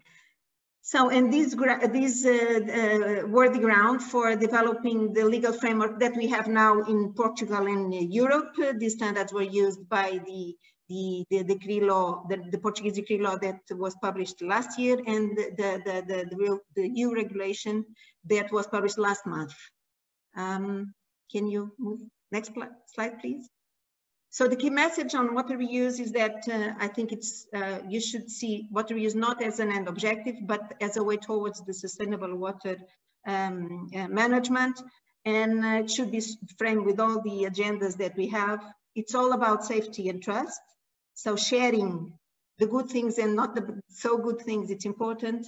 Innovation in engineering, but also in social and economic, and really long-term planning and strategies are mandatory, as well as we have to improve on fair and sustainable water pricing. And I'm, I'm, I'm highlighting these because we are here with the, in this forum. Uh, just to uh, a glance on in the future, we are now uh, starting a new a big project, the European project on Horizon 2020, B-WaterSmart, uh, which will go into uh, water smart societies and economies with many other, with many Portuguese partners as well. And thank you very much. I'm open to, to, to questions after Filipa opens the, the debate. Many thanks.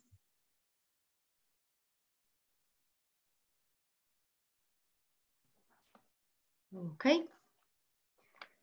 Thank you very much for these three excellent and very constructive and uh, uh, practical presentation with good examples.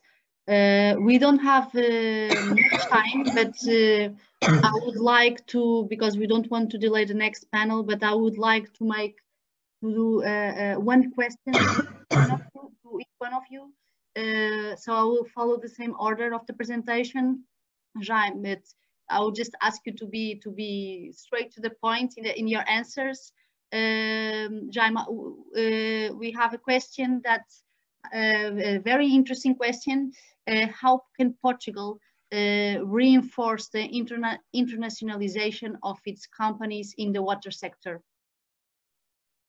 Okay, good question. Uh, I, I do believe that Portugal is a, in a very good position to increase international, uh, international activities. Why? Because we did in those 25 years a fantastic process of improving those services. So we know how to do that, how to do that, uh, how to implement policy, regulation, and uh, management, and we can transfer that knowledge to many other countries. What uh, happens in some uh, situations for sure, but I do believe the secret will be to combine the traditional approach bottom up where the Portuguese companies try, try to go to uh, foreign markets and try to compete with others for offering those services with a second approach with a top-down approach from government uh, through exactly the public policies and regulation, which is a topic state by, uh, to state uh, connection, uh, where the Foreign Affairs Ministry can make a strong effort so that the, the, Portuguese diplomacy can find opportunities so that Portugal help other countries creating uh, good sound public policies, regulation and management. And for sure, with that first approach, it will be much more easy to the Portuguese companies to do all the other components, all the other detailed studies and so on. That's my, my opinion. Thank you. Thank you. Thank you very much. I'm very, very good, good answer, and thank you for. We hope that could happen in the in the short to to medium run. Uh, Nuno, um, uh, we my question now it's more related to ADP group, uh, more specific. Uh, what are the plans of the group to to address the government guidance on measures to increase wastewater reuse in the country's 50 largest wastewater treatment uh, that is 10% in 25 and 20% in 2030. Okay, Th thank you for the question. Um, well, I'll just give you a figure uh, today, and uh, uh, today the, the, the, current numbers on uh, wastewater reuse in Portugal is around 1% of the total uh, wastewater that is treated in our country. So we have a long, long way to to to to to tackle, and uh, we are work on that. We have ADP group have already started the action plan uh, once again in two stages. The first with uh, some common methodologies and some some common approaches for all companies, and then each company is working on their own action plan. Of course, the situation from Algarve is different from the north of the country, and we are working with uh, in several uh, different uh, pillars. Of course, some of them depends only from our side, trying to get the partnership with the industry, with the golf courses, with the farmers. But Filipa, you and in your first presentation told us about the number of farmers that don't pay anything for the water that they use. So you can imagine that uh, it is a very difficult and long way and some of the measures that you uh, explain in your presentation will be very welcome for to help us uh, for this uh, to achieve these these numbers. Thank you. Thank you very much. And very ambitious targets. And of course, the Gulbenkian is always uh, open to, to, to, to, partner with the important players in Portugal uh, as uh, in the way to, to, to, to accelerate the transition to more responsible and, and uh, sustainable future. So Maria João, now it's the, your time. Um, what are the real drivers and success factors for water and energy efficiency and water reuse, in your opinion? Thank you, Filipa. Uh, well, I would say that for uh, um, water energy efficiency, I think it's money, climate, nature. It's it's it's it's it's easy to understand. Uh, we have uh, all the, the, the resource efficiency that we have to promote, and by doing that, we have cash, we, we, we can pay back the investments because we are saving water and energy. When it comes to water reuse, it's, I think it's more tricky. And I would say in the kind of, since it's Friday afternoon, we are almost living on, on, on, on, holiday, on, uh, on uh, weekend. I would say that um, the driver is definitely water scarcity, but the enablers are trust and memory. And what, uh, what do I what do I mean by that? We need trust, so we need to trust the water that we are using. And to do that, we need to have really sound risk assessment and management. And in this management, we have to include the right technology, not, not more, not less than we need for the given purpose of, that we are going to use the water. We have to have effective communication amongst all stakeholders um, uh, of, the, of, the, of the water cycle. And, and here, as, as uh, um, some of you have already pointed out the young people will have a key play to role. So they, I think it will be easy to engage. Learning from what's going on in my home, I think they will be uh, willing to, to, to, to catalyze this change and memory. I think we need to have memory to put these, um, these water reuse projects forward. We, we, we know to remember during the wet uh, years that there are dry years uh, a certain and more and more, it, I, am saying the thing, almost the same that you have already said. So we have to, to, to, to have long, long-term planning. So to remember that there are some years will be dry and we'll have to have reliable uh, alternative source. And the water use it's the most reliable because wherever and whenever there's water consumption, we will have water to reclaim and to reuse. And, uh, and ultimately we need to have policies and now we are be much better this year from, since last year and we have to now we have to move forward the, the economic and the incentives and how to pay these these these these projects and the water pricing is really a challenge and i challenge Católica to to to to invest on this topic and i think it's it memory, policies, technology, communication. Very excellent, excellent answer, Maria João. Thank you very much to, to everyone uh, and special to the, the, the three speakers that have, uh, that have a very uh, impressive presentation with good orientations. Uh, I would love to continue this discussion because we of course have much more questions but uh, the time that the other panel started at 45, it's 53 already, so we don't want to delay them. Uh, good luck for the next panel. Thank you all. Thank you, Católica, for the invitation and uh, good luck for the rest of the summit. Thank you. Thank you so much, Filipa, for moder moderating this panel. Very interesting insights indeed. Um, I would now like to continue to the next, um, oh, sorry, before we continue to the next track, I would like to uh, have one poll like we did yesterday after this panel and after the next panel, we will have a poll to uh, ask your opinion on um, the following question. How serious do you consider the issue of water scarcity in Portugal to be? One being uh, not at all and seven being uh, very much. So please go ahead and vote the answer that suits you best.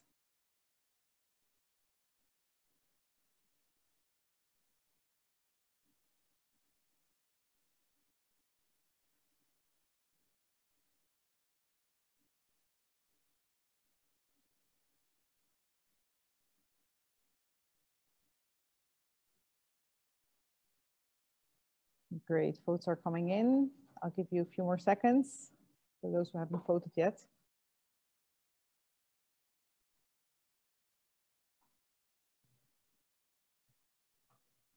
All right, thank you so much. Uh, as we can see here in the results, uh, most of you consider it uh, uh very much be of an issue, or at least uh, a, a, very high issue. Um, I would now like uh, to continue with the with the last track of this conference, um, water in the value chain, the consumption part. Uh, this panel will be moderated by my colleague Vera. Uh, so I would like now to give the floor to Vera.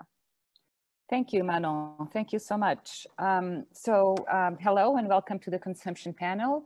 It is my great pleasure to introduce you to this panel about the role of water and consumption within the value chain. In this panel, we will listen to four speakers who are representing well-known brands from beverages to tourism and retail, and who bring us examples of how they embrace the issue of water within their business operations, but also how the consumer perspective is taken into account so that more sustainable behaviors uh, can be achieved. Our first speaker um, is Miguel Monteiro, who is the Chief Operating Officer from L'Oreal, who I'm sure you all recognize as one of the leading brands in the beauty care business around the world. Miguel has a vast experience in operations, fast moving consumer goods, supply chain optimization, demand planning, procurement, and warehouse management. Eight years ago, Miguel embraced an expatriation journey in France that culminated in the, in the position of supply chain director for the new markets business unit within Africa and the Middle East. And in 2019, Miguel took over the position of CEO, COO for L'Oreal uh, Portugal and was nominated local sustainability program leader this last April. Um, Miguel, it's a pleasure to have you um, with us. Um, let's uh, let's uh, move then to your presentation. I hope you have uh, a few slides um, to show us. Okay, so I have to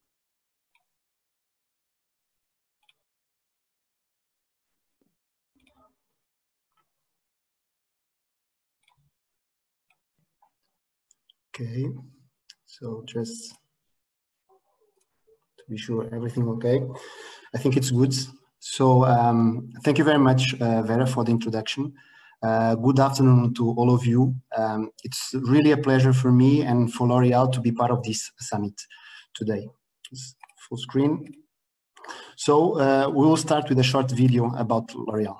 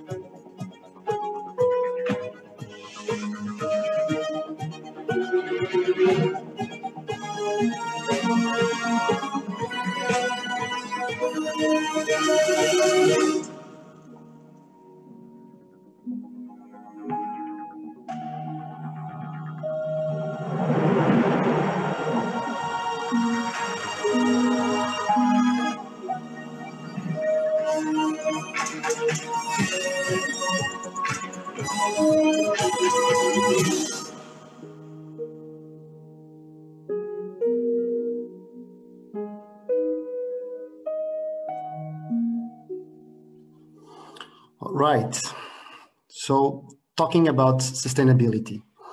Actually, uh, sustainability is not a new topic for, for L'Oreal. Uh, since the 90s and throughout uh, different programs, L'Oreal has already been uh, working on the environmental and societal impact of its business.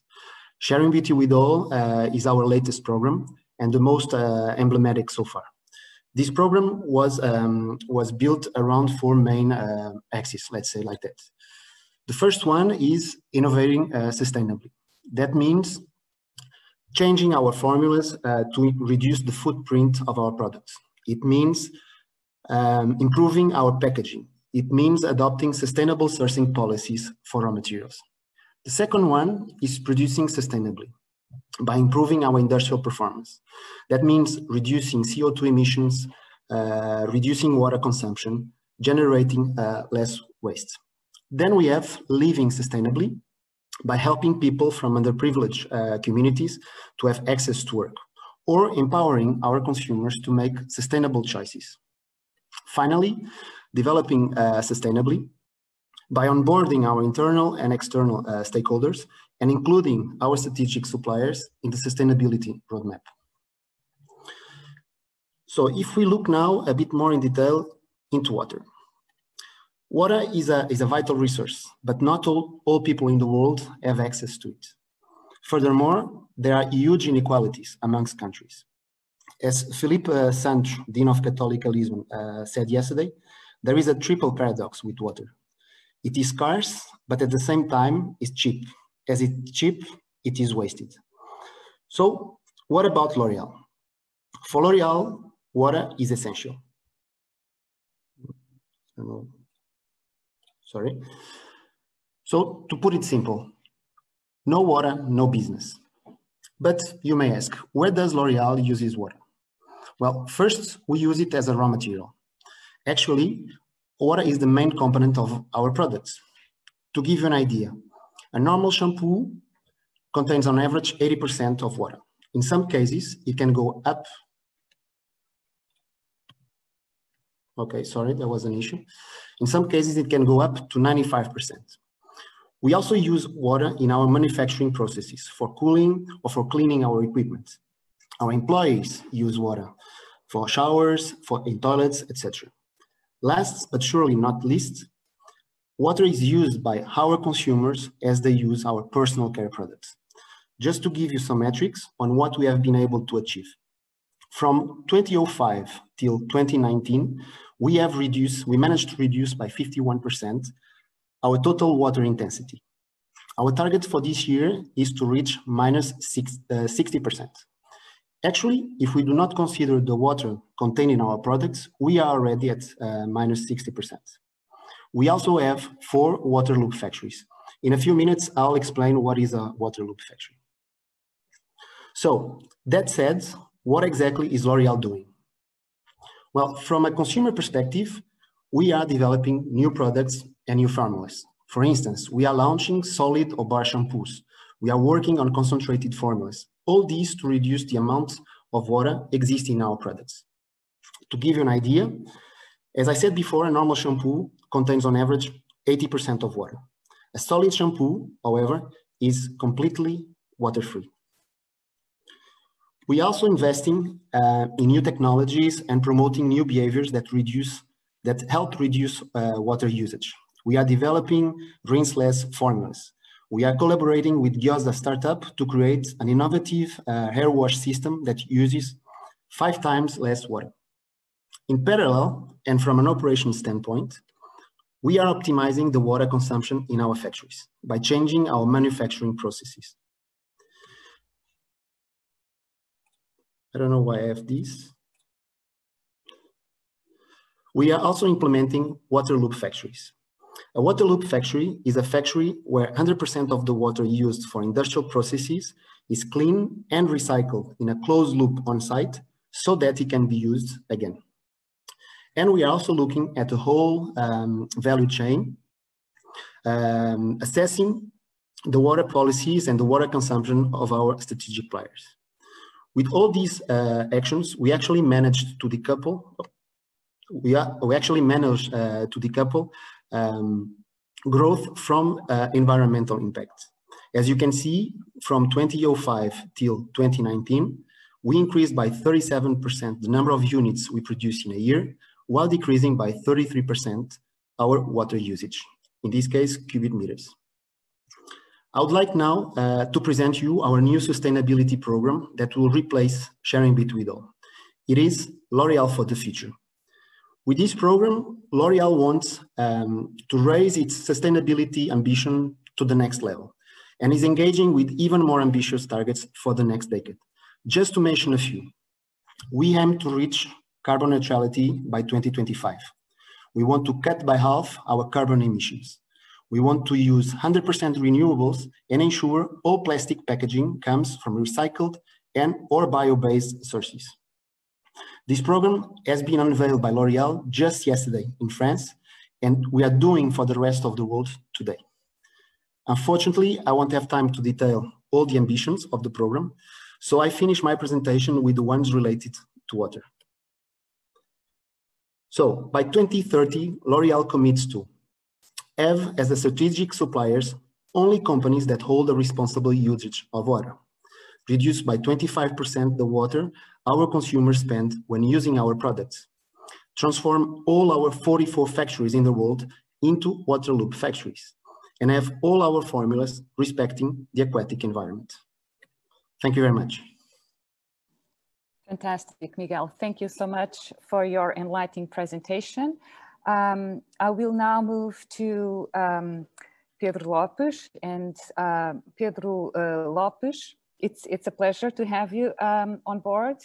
Um, uh, Pedro Lopes is a board member at the Pestana Group, a leading hotel and resorts chain group with over 90 hotels in Portugal and abroad, including the Pousadas de Portugal. Pedro Lopes is based in the Algarve region and under his supervision is the direct management of seven hotels and five golf courses in the region. He's also the vice president for the Regional uh, Hotel and Tourism Association, president of the Portimão Tourism Association, as well as the chairman of the board of directors for the Regional Development Agency, a public-private partnership between five major municipalities of the Algarve region and uh, major private uh, companies in the area. Um, Pedro, uh, it is a pleasure. Um, and now uh, we will listen to your uh, presentation. Thank you very Nuno for uh, inviting Pestana Hotel Group to participate in this water summit organized by Catholic University, where I did my graduation uh, a few years ago. So I, I, I, will be quick. I will speak about two ongoing projects we have we are doing in this moment in Algarve. And why we are doing this kind of projects because we are concerned with region trend to dry climates. So the, the first project we, we I will speak a little will be about, about water reuse from a wastewater treatment plant into two of, of our existing golf courses, and second project, modernization of our desalination plant in Alvor Beach. Next, please. So, uh, uh, as uh, uh, Vera already said, we are we have hotels all, all, over, all, over around the world. In Algarve, in Algarve region, we have we have a very strong presence with nine hotel units three Pousadas Portugal historic hotels, five Pestana resident resorts, and five golf courses. Next, please. First, I will speak a little about water in Algarve. Algarve region uses uh, about 227 million um, square uh, meters of water. Uh, agriculture, agriculture use 60%, human consumption is 33% of the total, golf 5% and other industries 2%.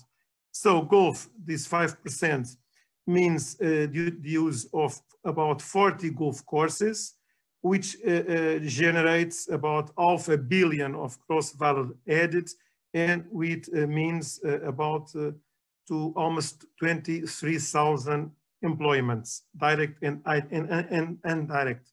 It's a very important um, activity for tourism in Algarve because it's major a, a low season activity. Uh, it's very well known and very uh, uh, outside Portugal. And we are in this activity in the last few years, we win a lot of prizes, like for example, already this year, 2020, award um, of the International Association of Golf and Tour Operators, the World Golf Destination of the Year. Next, please.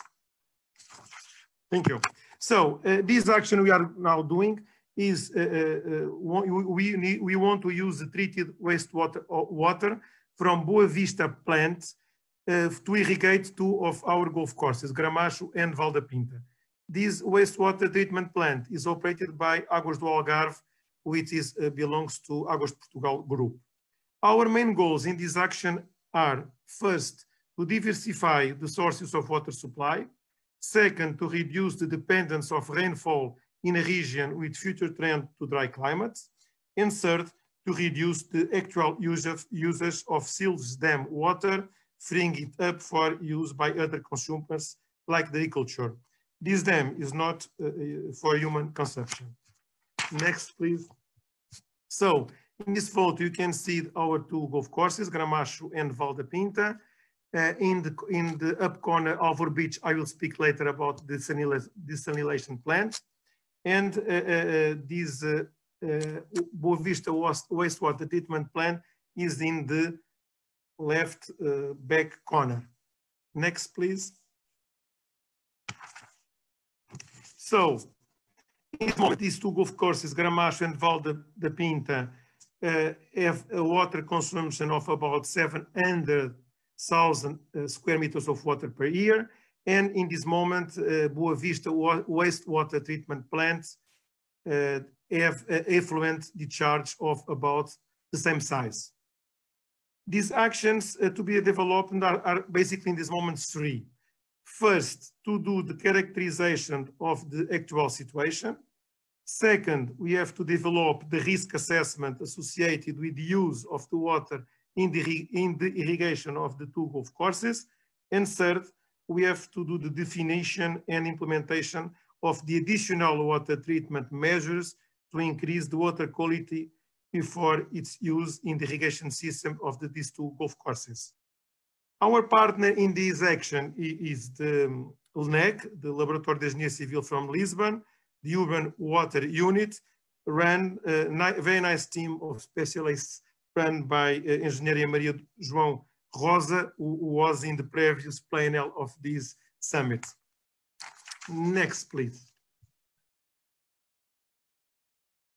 So the second uh, ongoing project I want to speak a little about is, uh, uh is, the, is about the our desalination plant we have in Alvor, in the right up corner on of the same photo. So golf courses and Alvor Beach uh, is very close, uh, are very close, about uh, about 10 to 15 kilometers.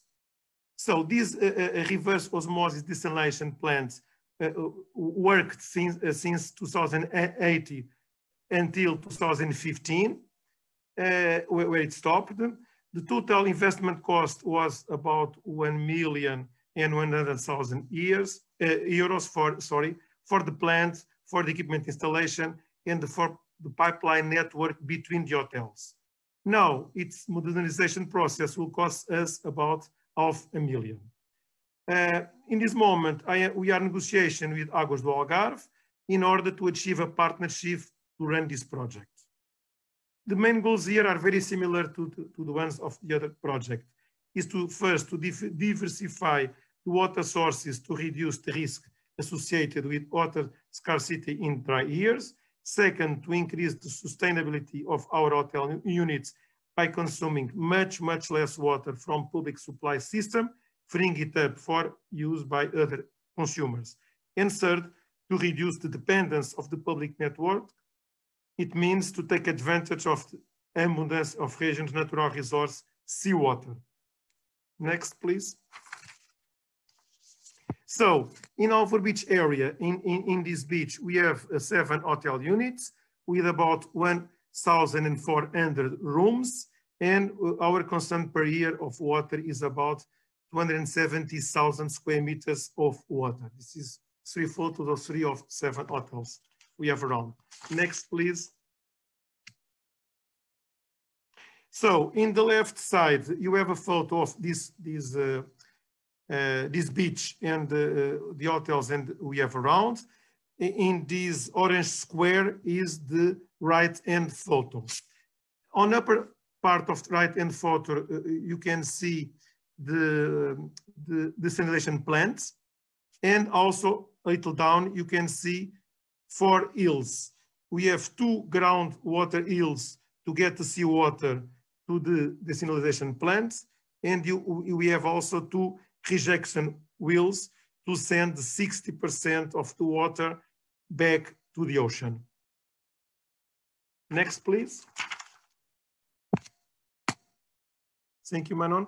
So uh, these, uh, uh, these water desalination plants has a recovery factor of 40%, has a rejection factor of 60%. It means that 60% of the water goes back to the ocean, can operate 24 hours a day, and a, a maximum of about 355 days per year. It means a maximum production of 280,000 square meters per year, which is, it means about all the consumption of water we have in these three, in seven hotel units.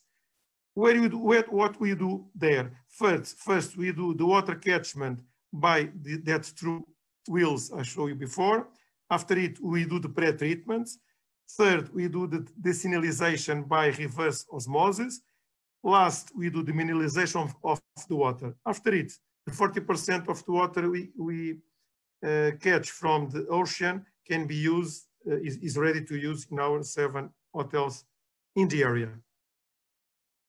So thank you for listening me for these uh, minutes and I am here to thank you and I am here to answer all these, these questions you, you want. Thank, thank you.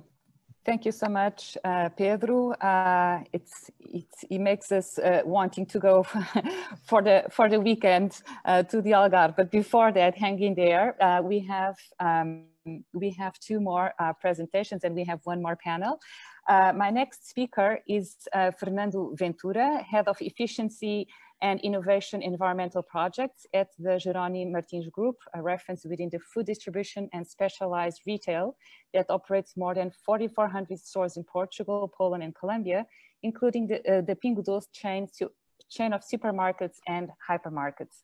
Fernando has over 25 years experience uh, working in the public and the private sector in the fields of environmental management and sustainability, leading projects that foster natural resources, efficiency, and eco-innovation such as food waste and the eco-design of packaging.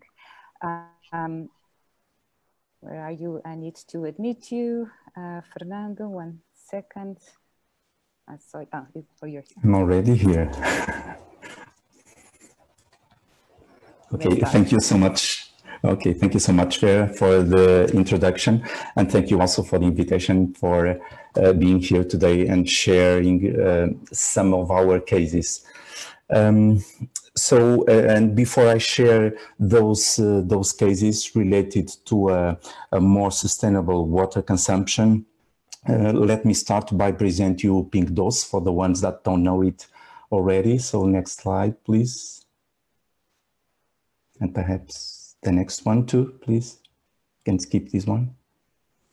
Okay, so those are some um, key figures uh, for Pingo Doce uh, achievements uh, of 2019. Uh, I just would like to highlight that uh, Pingo Doce uh, has been a, a, supermarket leader in Portugal for 40 years now. And um, that biodiversity, it's one of its uh, response, social responsibility uh, priorities. And uh, so, um, can we move to the next slide, please? So, uh, and which solutions has Pingo Doce been um, providing to, to its uh, customers?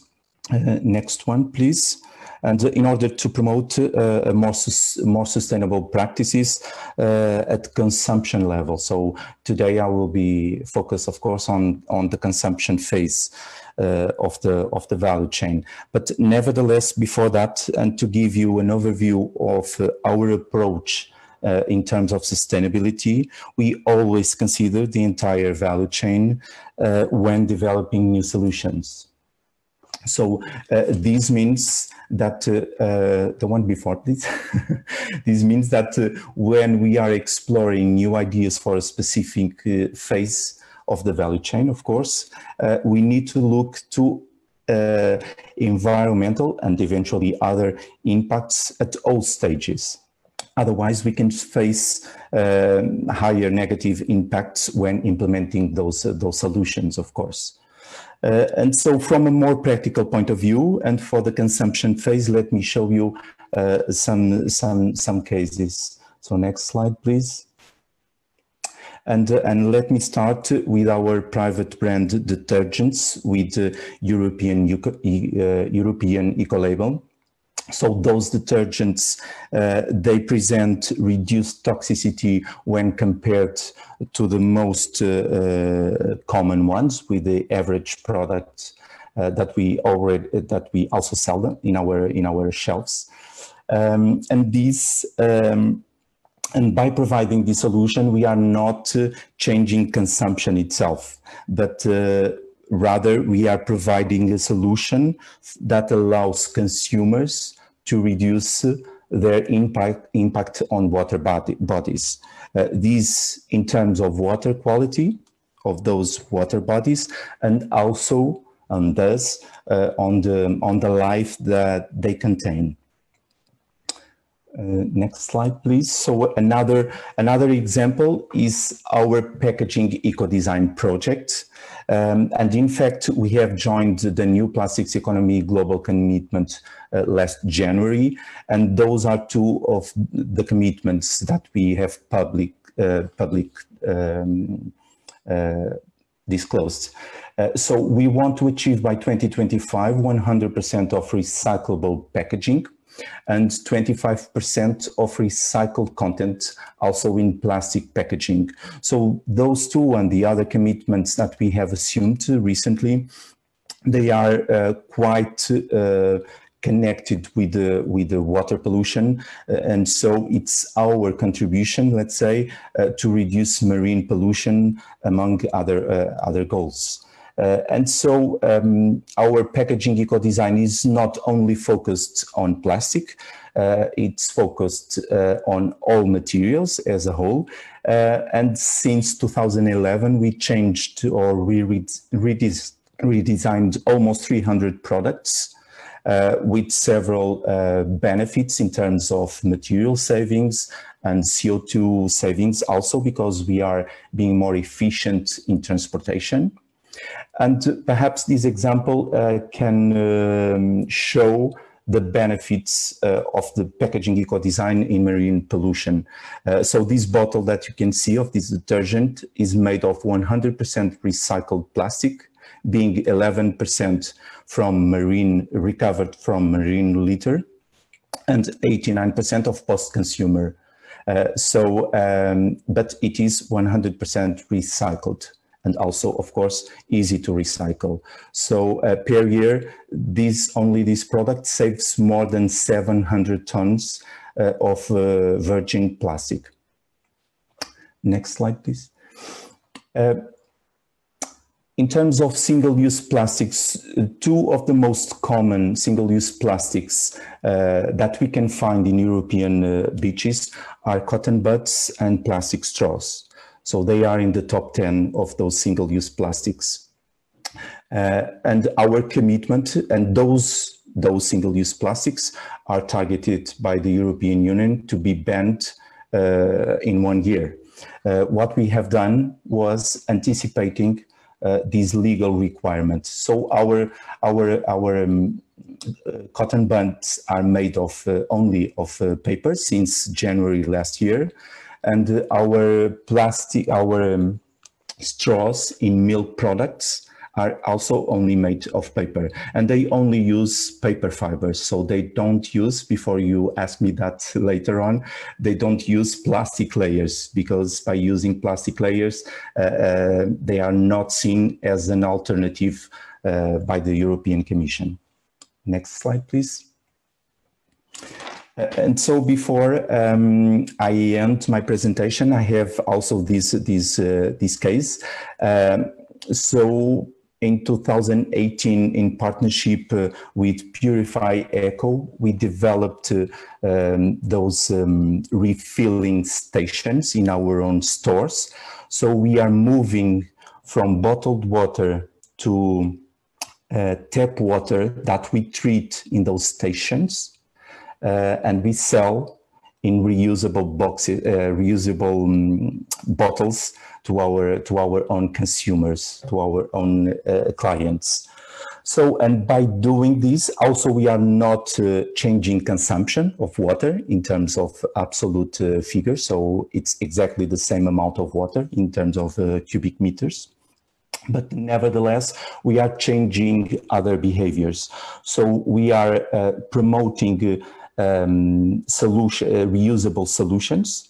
So we are raising the awareness of consumers to this so important topic nowadays. Uh, and we also are demonstrating that tap water uh, presently uh, provides the quality demanded by consumers. Another aspect is that uh, this is very related with climate change issues because uh, when we are providing this kind of water to our customers, we are allowing them and also us by reducing 2000 times the carbon emissions related with the transportation of bottled water. And this was the last case that I had to share with you. So thank you so much uh, for the attention and I will be available for questions, of course, later on. Thank you. Thank you so much, uh, Fernando, for your presentation. It was very, very interesting. I'm a client of your water refill station. I think it's wonderful.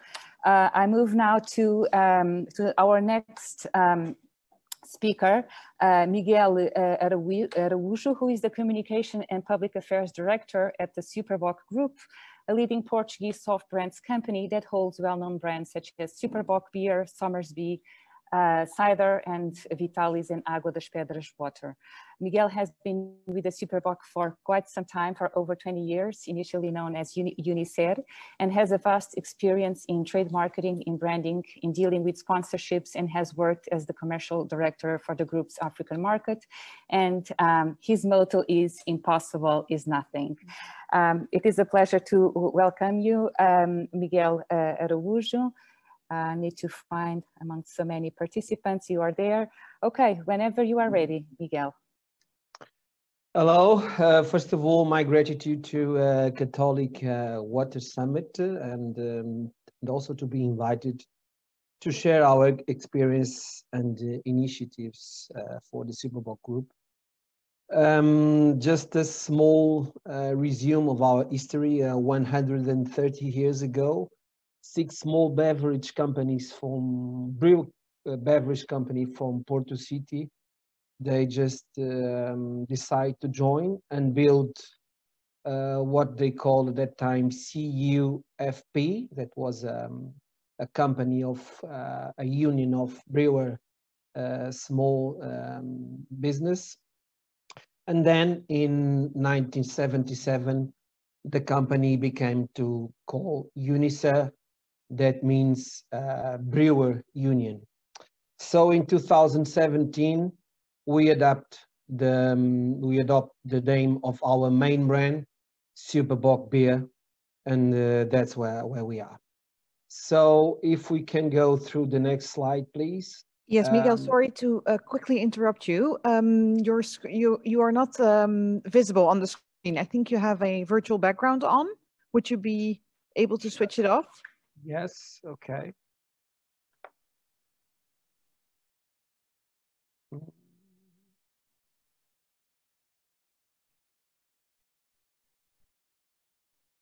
Can you see me? Because I put known. Uh, the video is not uh, back on yet. I have asked now to start your video.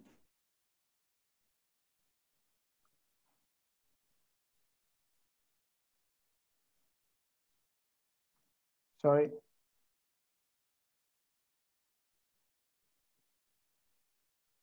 If not, no problem. We can continue without uh, camera.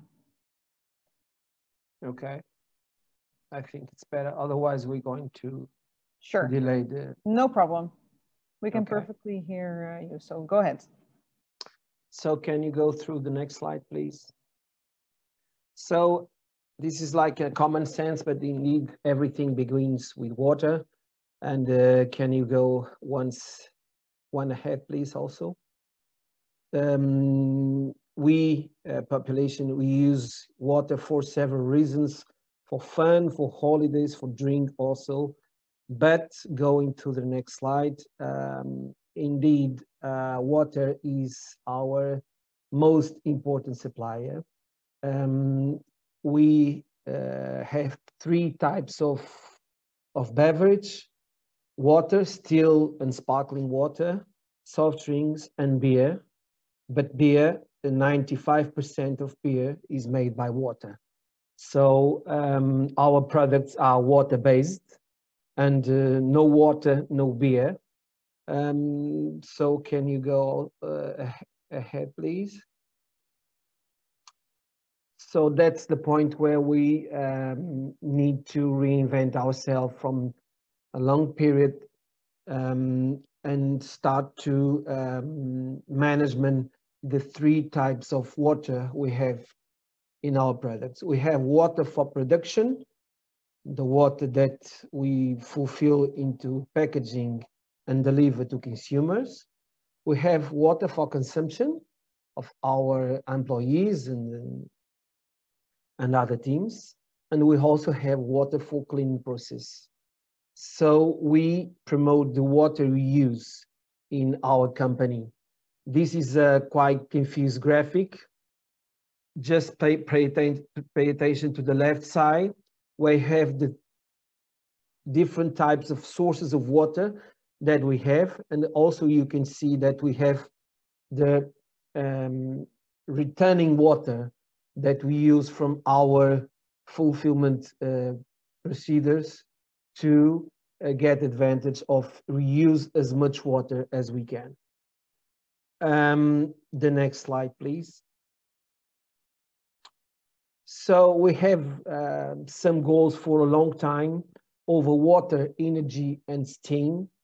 Um, looking for the, the blue board, we can see how the water consumption has have been decreased all over the last years. Um, the total of the group, because we have soft drinks, um, water plants and beer plants, the total of the group is 2.8 liters of water per each liter of uh, our beverage that we put in the market. In the beer plant is 3.0.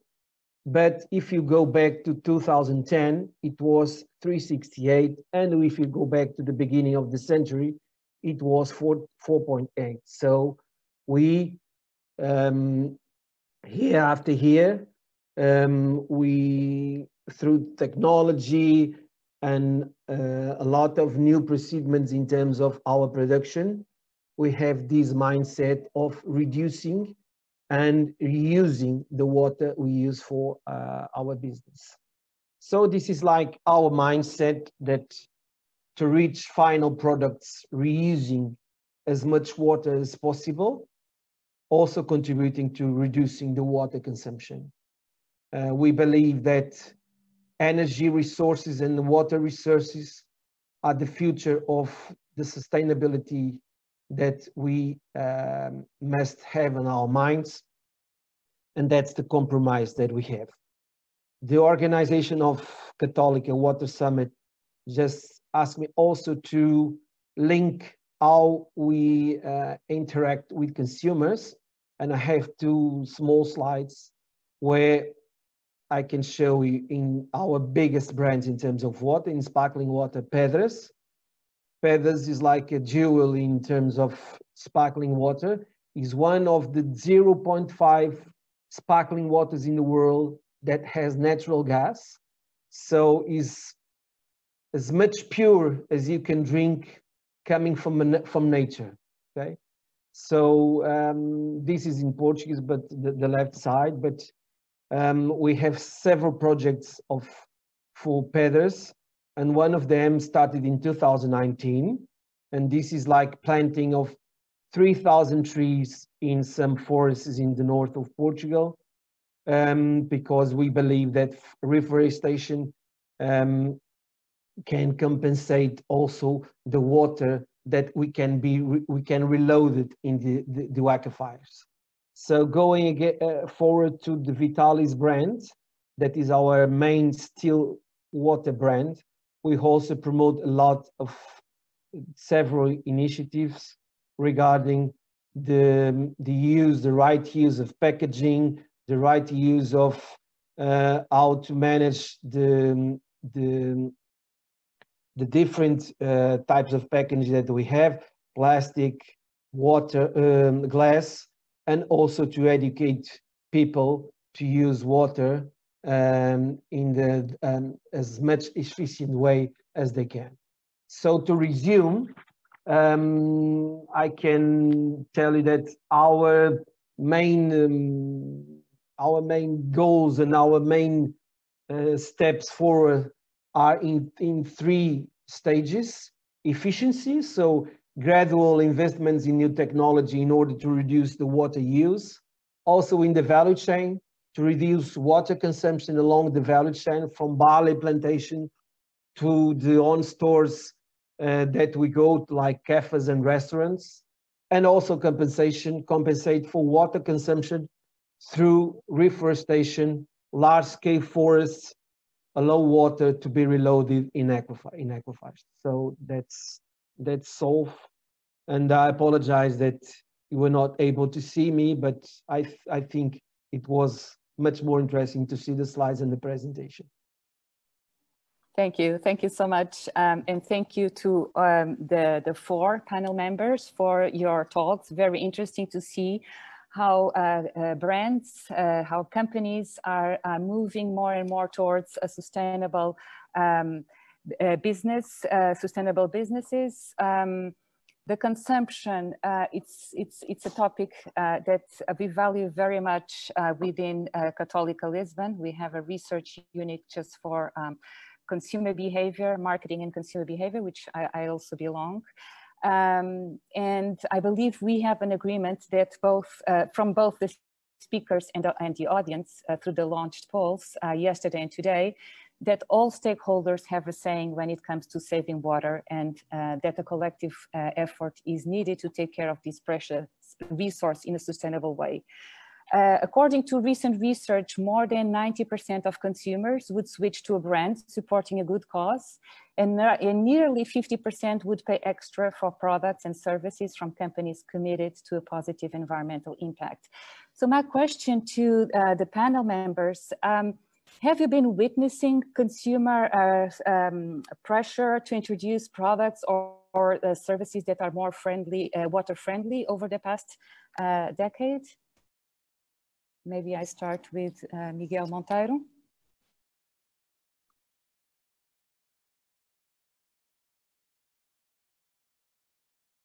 Cannot hear you. On mute. Okay. Okay. All right. So yes, uh, we have been um, feeling some pressure uh, into moving for more um, water-friendly um, uh, products. Uh, and that's why we have been launching some some products as um, solid or bar shampoos, uh, dry shampoos. So we are really doing an effort to to to reduce and also in the fabrication process to to to not reduce the usage uh, we have of water. In any case, I, I must tell that the it's not on water that we are feeling the most uh, of pressure. Uh, we what we see is that public opinion it's uh, pretty much uh, concerned today about plastics. So all the waste that are on plastics, uh, non-recyclable, and the, waste that we see on, on oceans and on uh, landfills, and also on other topics as um, biological natural products. So these are the two themes where we feel that are a lot of pressure.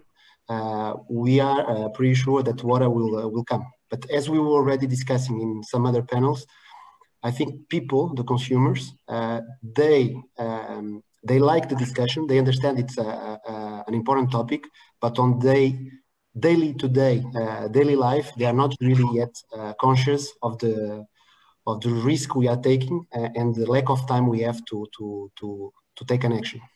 Sure, thank you. Um, Pedro Lopes, would you like to comment on, on this, on this uh, issue?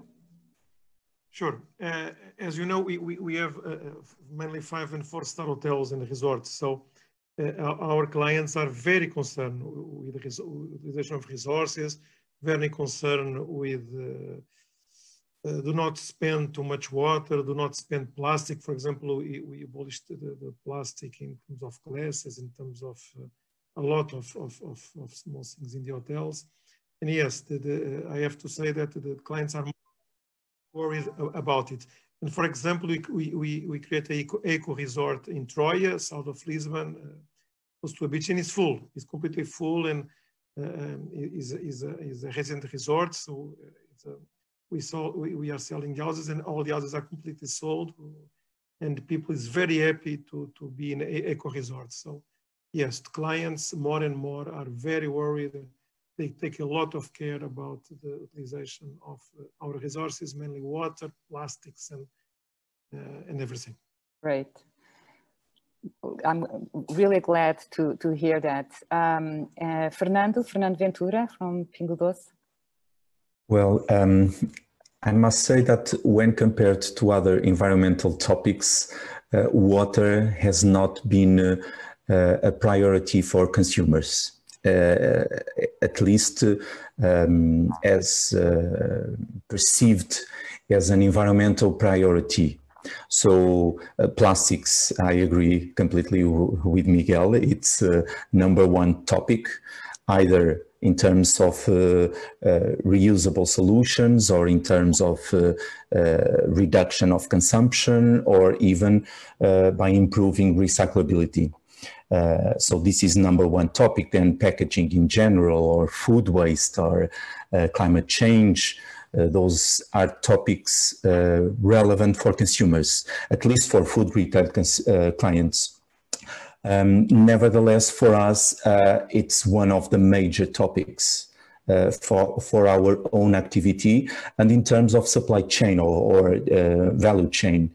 Uh, because uh, water is the essential resource for us to have food. So we use water um, as, as the main resource for everything or almost everything that we sell in our stores. And uh, furthermore, it has um, it can we can have uh, impacts uh, after or during the consumption phase um, besides all other uh, supply chain stages. Uh, so, but nevertheless, we are committed to uh, to reduce the impact in all uh, value chain stages, of course. Yes, so it's a wake-up call to the issue of water. Uh, I'd like Miguel Araújo also to comment, please. Yes, we, we feel indeed that um, consumers and also our clients um, nowadays become more and more concerned about the use of water and the spending of water. We feel that, for example, in our events, in our music events, for example, Super Bock, Super Rock, we have a camping where people stay for four and five days. And we feel that this concerning about spending as less water as they can is, is now um, starting to be a mindset in the young in the young consumers, but also in our clients we feel that uh, they they they have this this kind of concern. Nevertheless, I think Miguel um, just just um, said what, what what I I do agree with him is that opinion public is still too concerned about the plastic. And for example, we have five different areas here in terms of sustainability sustainability policy and plastic is just one of them. So energy resource like um, like I did steam, like I said, steam or, or even electric, also water. And the last one, uh, also to educate um, consumers and clients how to um, manage and use um, in, a, in a friendly way the resource that we have. Fantastic. So we are almost running out of time. I would like to thank you all the four panel members. You are very, very nice with your presentations. You respected the time. Uh, major takeaway, prioritize the topic of water. And uh, maybe there's a great opportunity to, to, you know, for companies to be working on campaigns, uh, communication campaigns in public policy to raise uh, the, awareness, the awareness of uh, saving water. Thank you so much um, to the consumption panel. Thank you. And now Thank we move. much. Um, thank you. Uh, Manon? Thank you so much, uh, Vera, for uh, for moderating this panel, and thank you all uh, to the panelists as well. Uh, before we move on to our final panel of today, uh, I would like to uh, launch one more poll with the question, uh, which of the following do you think is more important to overcome? There are two options, so I'm very curious to see your answers.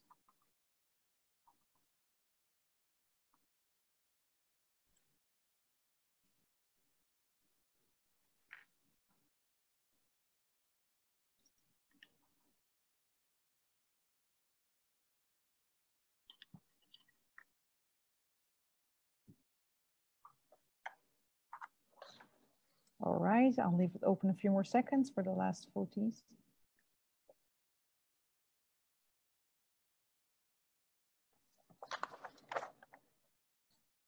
All right. Well, as you can see, um, it is quite equally uh, divided over both uh, answers. So I'm guessing it's uh, it's a problem that's um, that should should be overcome in both the developed and underdeveloped uh, uh, countries. Um, thanks again, Vera. Um, as mentioned, we are off to the last panel of today, uh, moderated by Sofia Fernandes. Uh, I would like to ask my colleague, colleague Filipa to introduce Sofia. Hello, good afternoon. Uh, so it's a great pleasure that uh, I'm introducing Sofia Fernandes to you. She is head of marketing and projects at the BGI, Building Global Innovators, and her passion is to make business to grow. She's a strategist and has been working in the last four years with startups. And before, Sophia was launching new products in corporations. So if you want to be an entrepreneur, if you are an entrepreneur, or if you are looking for an entrepreneur, you should meet Sophia for sure. She will set you the right path to achieve your objectives. She's managing a portfolio with more than 100 startups uh, and team with more than 10 people in BGI, and she loves to design and align strategies, motivating those around her and assure flawless implementation.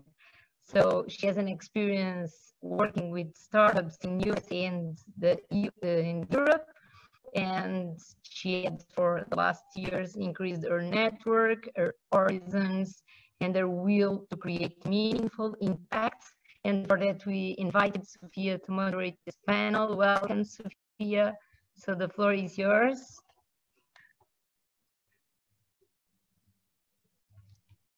All right, good afternoon. Can you hear me? Yes, very well. Thank you, uh, Filipa, for, for the intro. Uh, I'd also like to, to thank uh, Nuno and Manon for the kind invitation and uh, for also letting me bring a little bit of the startups to these to this uh, very interesting water summit. Um, so actually what uh, we want to see here right now is actually what's happening in Portugal uh, in the water community, let's say, and how can you, all of the, the speakers and everyone that is here, work with them. Um, and so for that, I, I, am going to introduce as well the, the speakers that are going to be here with me today. Uh, and they will uh, uh, shortly pitch what they do and how can you work with them. So first is, uh, I'm going to go for alphabetic order. Uh, we have uh, Bruno Abreu, which is the CEO of Scubic. We have Francisco Manso, the CEO of Trigger Systems. We have Mafalda Freitas, the head of open innovation at Beta-i we have uh, Nuno Leite, the COO of Scientia, and we have uh, Rui Teixeira, the CEO of Evo. Um, so I would also like to, to ask for you to unmute them and I'm gonna go, I'm, I'm gonna try to keep really on time, but it's gonna be a little bit hard.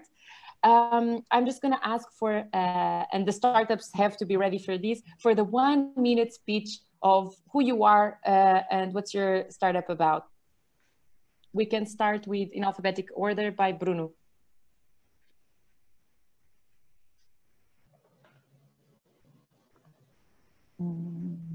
Se tens tirar o som. Uh,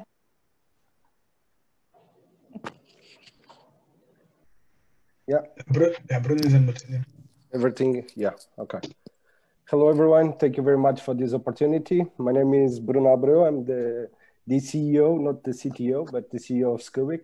Um, we are a data analytics company mainly, but we associate that knowledge with uh, electric engineering and electric efficiency and with hydraulics engineering uh, to optimize in real time the water networks we we as in the biggest in big cities we spend a lot of energy to transport the water from the rivers until our homes and we with real-time optimization we can reduce the energy costs associated with transporting water and of course increasing the water quality increasing the efficiency of the water network and most importantly secure our water resource which is finite and we having a lot of problems here in portugal but we are getting good results. We are reducing between 5 and 18% of the energy bill on the systems that we are operating. So it has been an amazing journey last year. Yep, that's it.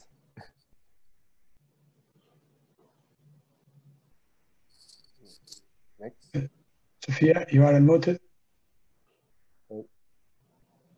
Yeah, only the anfitrião can turn Oh, so mic. maybe you can move for next one. Uh, Okay, Nuno, Uh, do you want to pitch? Yeah, all right. Okay. Hi. Uh, thank you very much to, to Católica for the invitation and for, for to, thanks to BGI for all the support so far. Uh, I'm Nuno here representing Scientia and Saltwater. Uh, we're an aquaculture startup uh, that's going to produce uh, meager, which is Corvina, uh, but we are going to, to do it in a recirculating aquaculture system, which is a land-based closed system where we control every parameters um, so we can promote the best we- welfare possible for the fish to grow. And this will be reflected in the, in the end product. Uh, we, we will reuse, we can reuse the, the, all the water in the system around 95 to, to 99% um, each day. So, so it's a circular uh, system and we promote uh, sustainability. All right, thank you so much, Nuno. Uh, going back to Francisco. Francisco is unmuted. So it's, yeah. I can I can go instead. Yeah, maybe maybe while Yeah. uh, Francisco is unmuted, Rui, uh, you can go. All right, all right, I can go. So my name is Rui Teixeira. I'm uh, also the CEO and the co-founder uh, of Evo, um, a Portuguese startup from Aveiro. Uh, and we developed a technology to supply instant hot water uh, on buildings uh, and avoiding the waiting time for hot water. So we can increase water and, and the energy efficiency on buildings. We're targeting right now mostly residential sector, but we have solutions for uh, to install during construction, during reconstruction, or even solutions for do-it-yourself installation that can uh, uh, save up to 12 liters of water in each shower. Uh, we are already in the market, and uh, of course, we are also we are looking for um, partners that could help us um, uh, help uh, entering the market, and um, mostly in Portugal and uh, in Europe. Perfect. Thank you so much, Rui. I will pass now to Francisco, uh, that I think it's unmuted Can you now. hear me now? Yes, we can. Okay, so my name is Francisco. Uh, I work in Trigger Systems. Uh, we are managing um, irrigation water, uh, and we have developed uh, a very new uh, way to make irrigation that can save a lot of water. This was known in theory to be possible, but uh, there was there, there wasn't any type of uh, um, device that could manage the complexity of this new irrigation method. and we have been installing water uh, controllers in uh, um, in cities like Lisbon, for example, but also uh, in agriculture landscapes and golf courses. Uh, we have savings about uh, 50 to 60 percent, which sounds incredible, but it's it's achievable, and we are getting lots of increasement in in yield productions, which makes us very very happy about it. Great, Francisco, thank you so much. And last but not least, Mafalda Freitas. I'm not sure if she's already unmuted. I am. I'm here, Sophia. Ah, great. Thank you. Okay, so hi everyone. My name is Mafalda. Um, I am an Open Innovation Program Director at Beta-i. Um, I also want to thank Católica and, and BGI for the invitation to be here. This has been a very good summit and uh, on a topic that's very key to Portugal and, and to the world. So thank you for that.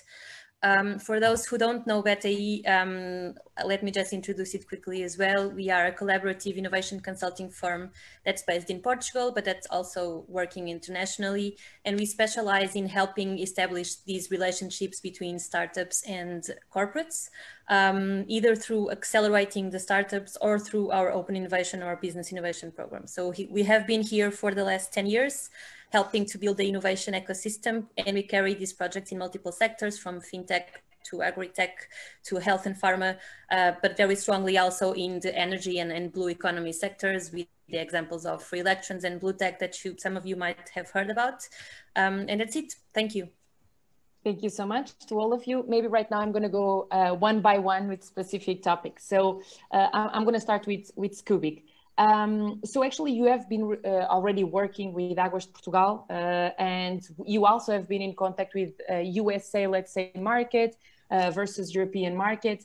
Um, my real question for, for you would be how to navigate this public-private uh, situation uh, and, and how is the importance sometimes of the connection between startups and universities to actually build credibility to talk with corporates? Is this something needed? In your experience? Uh, is it better to be a university spin out?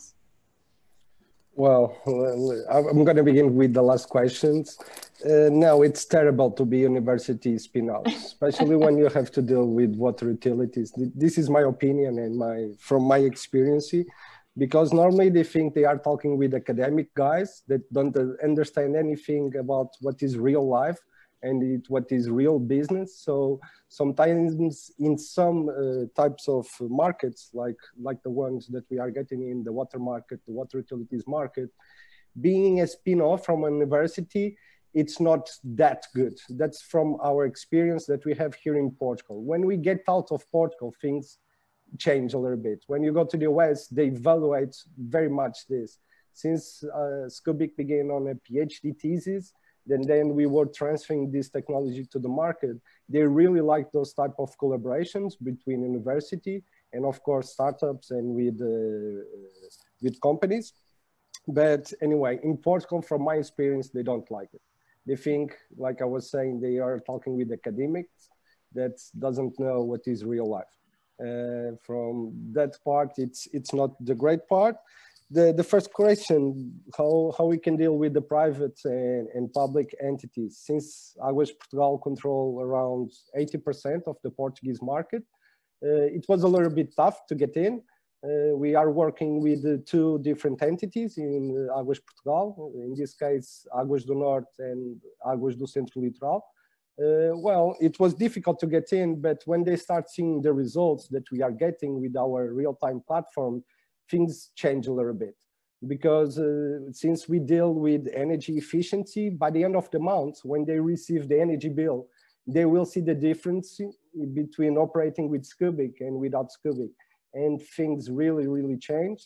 And we have some follow-ons that after the first pilots, they want us to build additional studies and additional platforms for their water utilities. But uh, I think, and this is general in Europe, especially water utilities are very close to innovations. They don't like new things. They don't like guys saying how they should operate their water networks because they think what they are doing for the last 20 years, it's enough and it's very efficiently. But since they are installing a lot of sensors and the amount of data is increasing exponential, they will need for uh, uh, advanced analytical solutions to help us uh, bring the, the, the, the, real value of data or picking the power of data and create real value with that data.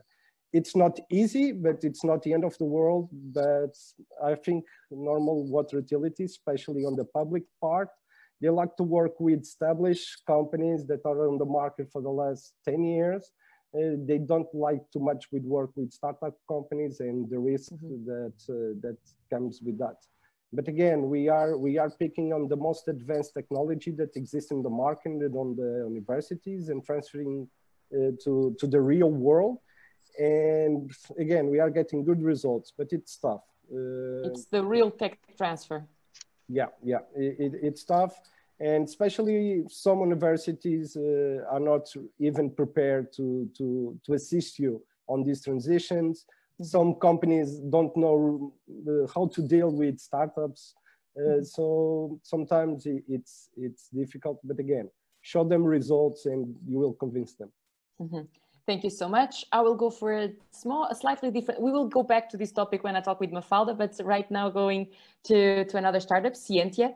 Um, we see that, for instance, uh, not, not just being sustainable in terms of water, but some also with the products related with it. For instance, the packaging uh, for, uh, for, for the product to be sustainable. Um, how do a startup look for partners? Um, is it important uh, specifically uh, in, in case of Scientia, which uh, it, it has a, a huge capex, a huge in, initial investment on infrastructure?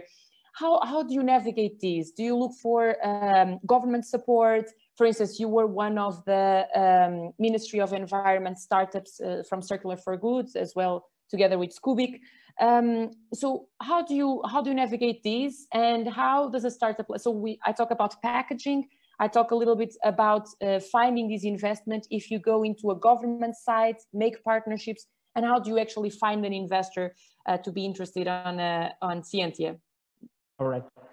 Well, um, because we advertise all these things regarding sustainability, transparency, um, biosecurity of our product, uh, because we, we can guarantee that we will have a premium product without any contaminants. We don't use any antibiotics or chemicals in, the, in our uh, fish tanks. So we can just have the end product and then deliver it when we process it in a plastic packaging or, or uh, just, it's just not sustainable. So we have to find solutions when we come to that point um, where our packaging uh, delivers exactly what we promise. And that has not been easy to find because there are not that many solutions in the market that just have those characteristics that we, we, we are looking for. Um, but that has been uh, uh, uh an area that has been in constant development. There are works with um, microalgae in, in cardboard uh, packaging, and we're looking forward to that uh, when it's market ready. Um, when dealing with the, the, government for financing, it's not been that easy. Um, usually there are a lot of calls for, for funding to startups. And usually there's also this little note that uh, aquaculture is not eligible. Um, I really don't know why. Uh, maybe there's a separate funding for fisheries and aquaculture, but usually it goes also fisheries. Uh, well, it's been, it's been hard also finding a private investor um, that will, especially in Portugal, that will understand the specifics of an aquaculture business because most investors are looking for a, a quick return in, in, two, three years, and an aquaculture business takes a little bit more time because there's something we can't uh, overcome, which is the biology of the fish. It will take time to grow, and the company will take some time to, to make a profit. Um, for example, uh, uh we can grow a, a meager using this system, uh, uh, 2.5 kilos in around one and a half year, which is very good considering it takes a, a sea bass, which is robalo, to grow 500 grams in two years or three years.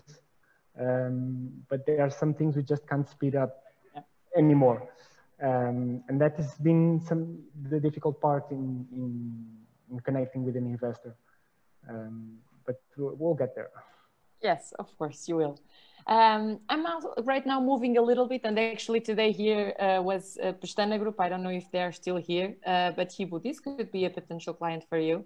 Um, so how is it to actually get to this corporate? Uh, you have been uh, actually funded by the European Union uh, by EIT Climate-KIC, so that's a good incentive. You have been at the Web Summit. Uh, I, I, was I, I was uh, um, happy and fortunate to be with you at the Web Summit and see uh, how you were actually showing everyone how your product work. What does it take for you to actually uh, scale? Because you already have clients and you get to that point the sweet spot, spot where you already have revenues but you want to scale up. Is it Climate-KIC helping? Is it web summit? How do you reach the the corporate is it through a water summit event? How do what's the strategy how do you see these um, for hibu i hope that uh, water water summit will help after it i can tell you no, but regarding regarding the technology, actually we started uh, to address directly uh, the potential, uh, like like um, Auto, for example, as you were saying. Uh, but we just realized that we have to come to the, we have to enter the normal uh, the normal channel of distribution. I would say with a with a with the normal uh, distributors, the normal representatives uh, on the on the countries uh, or locals. let's say construction material stores, for example, but some somebody that is already providing these institutions and that gives them the trust that they need when they are buying a disruptive product. Well, the thing is that um, you are asking me uh, how to get to corporates, and of course, uh, there are huge corporates on that side as well in Portugal, but also uh, internationally. And it's not uh, easy to reach them uh, because of course that even when you have uh, a, a, really innovative technology um, that is proved proved to, to, to, to be innovative not only in Portugal but um, but uh, uh, outside like uh, we, we are just now opening a new contract in the US and like a, a big distributor national because they know that there is no such thing like that anywhere else in the world. But the thing is that when the product doesn't have market uh, they also does, don't bother uh, these corporations because they don't have anyone else selling it. So they are not so interested to rush. And so that's one of the biggest problem that we, we feel when you are knocking on the doors of the big corporates uh, to get them to try, to get them to try if the market wants the product, uh, to, to make them validate our value proposition and to check uh, if their customers are actually pay the money, the, the value that we are asking for, for, for the product. Uh, because we have made our research and we know that the customers pay the, the money that we are asking for that. Uh, but once again, the, the problem is that uh, large corporations, uh, they, they want to take it easy. Sometimes they want to, to see you making your first steps alone and to, to, to make the proof validation that you are able to, to, to be here during some time and to be selling some quantities. And uh, of course, we have made some contacts with large corporations. They don't, the, the thing is that large corporations, they never want to be out, but they never jump in. The thing is, they are a little bit in the, in the between. They want to check if their competitors actually jump in. And so they want to have you close. They're gonna buy you some samples. They're gonna test that. They're gonna make some some validations. But the thing is, uh, that's not um, organic. That's something that, that, that comes and goes, and you know, just to leave some connection. So I, I really think that uh, whenever it's uh, this new technology, if uh, these large corporations sometimes they try a little harder to give it a try and to to and to actually to to to make an effort to validate if this thing is real. Uh, to well, simply to say yes or no, uh, but not to leave it in the in the in, in this in this uh, gray zone uh, that will be much better for the startups because uh, uh because even for yourself, you, you, whenever you are bringing a new product to the market, you are not 100% sure if that's going to be a boom, a product boom that or, or a mass market product. Uh, but if you don't if you don't fight to to to show that, then you can die during the way because you, of course the startups are always needing uh, additional funding uh, when you are not when you are not um, um, achieving um, stability on your business. Uh, but that's that's what I feel when dealing with corporation. It's uh, it's a little bit frustrated because you know that you have uh, something that is much better than than the products that they have at their bench. That you know that the products that they have want to buy your product because you sell them directly to them, mm-hmm. and you know well uh, uh, a structure like that could sell a thousand of that in a, in a, in, a, in a few times. But the thing is that they want to take things easy because business is going all right. So why should I care? and, and even uh, and that's uh, let's say ecological concern comes after. The, the first one of course uh, uh for Pingo Doce or for whatever the first one uh, is of course to make sure that uh, that your your business is profitable. And of course it's it should be like that. But i just think that sometimes and even if you want to strongly support startups as it happens in other countries i think bruno was talking about us and, and of course, like US, things are completely different there. And that's why we see that some uh, great uh, startups become some large corporations because people actually take a risk because uh, people uh, actually believe. Uh, but what I feel in here in Portugal is that when I'm uh, knocking the door of a corporate, I, I, I have to deliver exactly the same as if I would be a large corporation. All right. I'm a startup, but I have to deliver exactly the same. Uh, so it's not any kind of, uh, let's say, uh, benefit or, or, or, at least some some some help at the at the interest. And sometimes you are not good enough because you are not mature enough, and you just miss a step and you, you don't have the second one. Yeah. Thank you. Thank you so much, Rui. Uh, now going back to, to, to, Trigger Systems and, and Francisco, um, and also with the point that you were also nominated uh, and financed by EIT Climate-KIC, EIT Food, you have been uh, highly distinguished in several prizes. Um, and actually, you are in a very noble uh, part of Lisbon. Parque Eduardo VII has your irrigation system. Um, so how does this visibility and uh, does influence with the relationship, relationship with the corporate and as well as a startup perspective, um, uh, how much time should you also invest in uh, applying for potential grants, etc., um, rather than sometimes looking for uh, sales directly? Like, how do you manage these inside Trigger?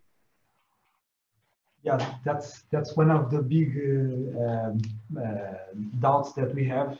And nowadays, uh, since uh, uh, some experience that we have with winning some prizes and sometimes losing focus of the market, and other times that we have focused on the market and lost probably some prices, we have uh, um, uh, these are like two parts of the brain that don't can um, uh, don't get along together. So either we are focused on the market and we go very fast in sales and product development, or we we go to the to the recognition or some, or to prove some some other um, uh, to, to some others people that uh, that what we have is really good and, and can really make a difference and uh, and uh, and we lose the the other run. This year for example i think we we have we have not won any prize and will not participate in any contest. And we have focused on the sales.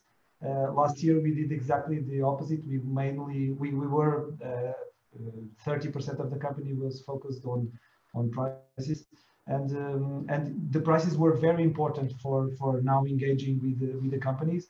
Not only the prices but especially the support that we got uh, during the mentoring parts and so on like for example the program from Beta-i or or, or IAT we we got a lot of support a lot of knowledge which was very very important.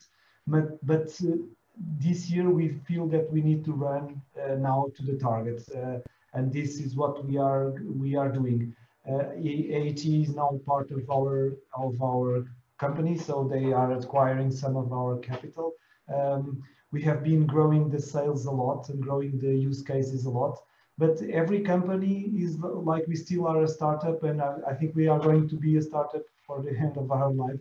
And we have to prove again and again and again, even if we have made 70% savings on Parque Eduardo VII or 30% savings on, on all the, the, the, companies that we have engaged on. Still, the next sale is again a, a, new sale where we have to prove, we have to do a pilot again.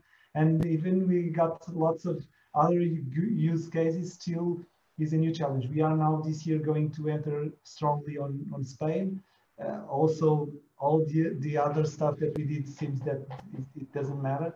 And uh, I'm sure it will be like that forever. So um, it's it's it's as as is. So every day we have to prove ourselves. Like uh, I was listening to Rui and, and feeling that we will never be a, a big company. We, we will always be a, a, small company. We will have a good we will always do pilots for everybody, but uh, we are now engaging with big companies that can really scale up a lot the product.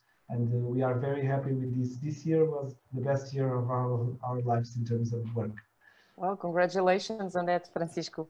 Mafalda, I, I leave you here uh, after all the startups because I'm going to pick up on some of the things they said uh, to, to also um, try to check it with you.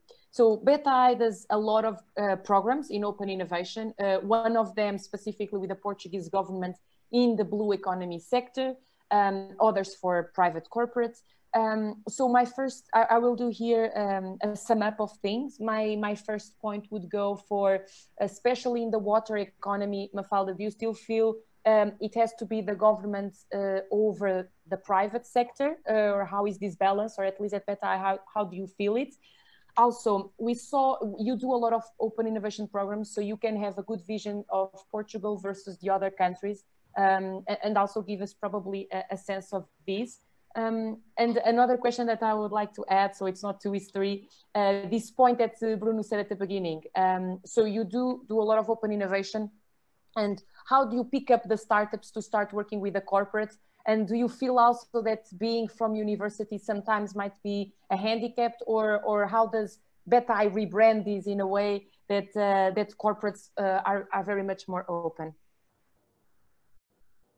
Uh, I, I, think that Mafalda is, is muted. It's Mafalda Freitas. Thank okay. you. So a lot of questions, Fia. not, very easy. Um, but but yeah, just picking up on, on the on all that I've been hearing so far, I always find it amazing to hear from the startups and also from the corporates, but mostly from the startups because I think that's the beauty of being a startup. Also the challenge. It's uh, I think that I don't have a startup, but I think that should be the your driver every day, right? So to overcome those challenges, and uh, I always find it amazing. And I do believe in collaboration, but it is all about collaboration. And I know how tough that can be. And I know how tough can, can be for a startup to approach um, to approach a corporate or to approach a government entity, because I, I think that uh, if we go to the basics, it's just very, th these are just very two very different entities in their nature, right? So a startup is um, this eager to grow, eager to do unstructured, informal entity that's very flexible, very adaptable, very fast, uh, that sometimes is more focused on uh, one specific challenge only, and they are very, very good at that specific challenge. And corporates and government entities, they are dealing with hundreds of different concerns at the same time. They are big, so they are slower. Um, and, and, and this aligning these different expectations is it's not an easy thing to do and a, a, lot can go wrong in that if people don't respect these differences and they don't consider them when they are trying to establish these relationships. So if I recall correctly, your first question about about uh, the the water um, sector. Yes, I think that in Portugal, and I think that Bruno also mentioned that uh, it's still a very government-driven uh, sector. Um, so it's very legacy-based, very still a little bit old. And I mean, things have been working for the past uh, 40 years, so why change, right? And this is normal and it's something that we see in Portugal and all over the world. If things are working, why are we going to change them?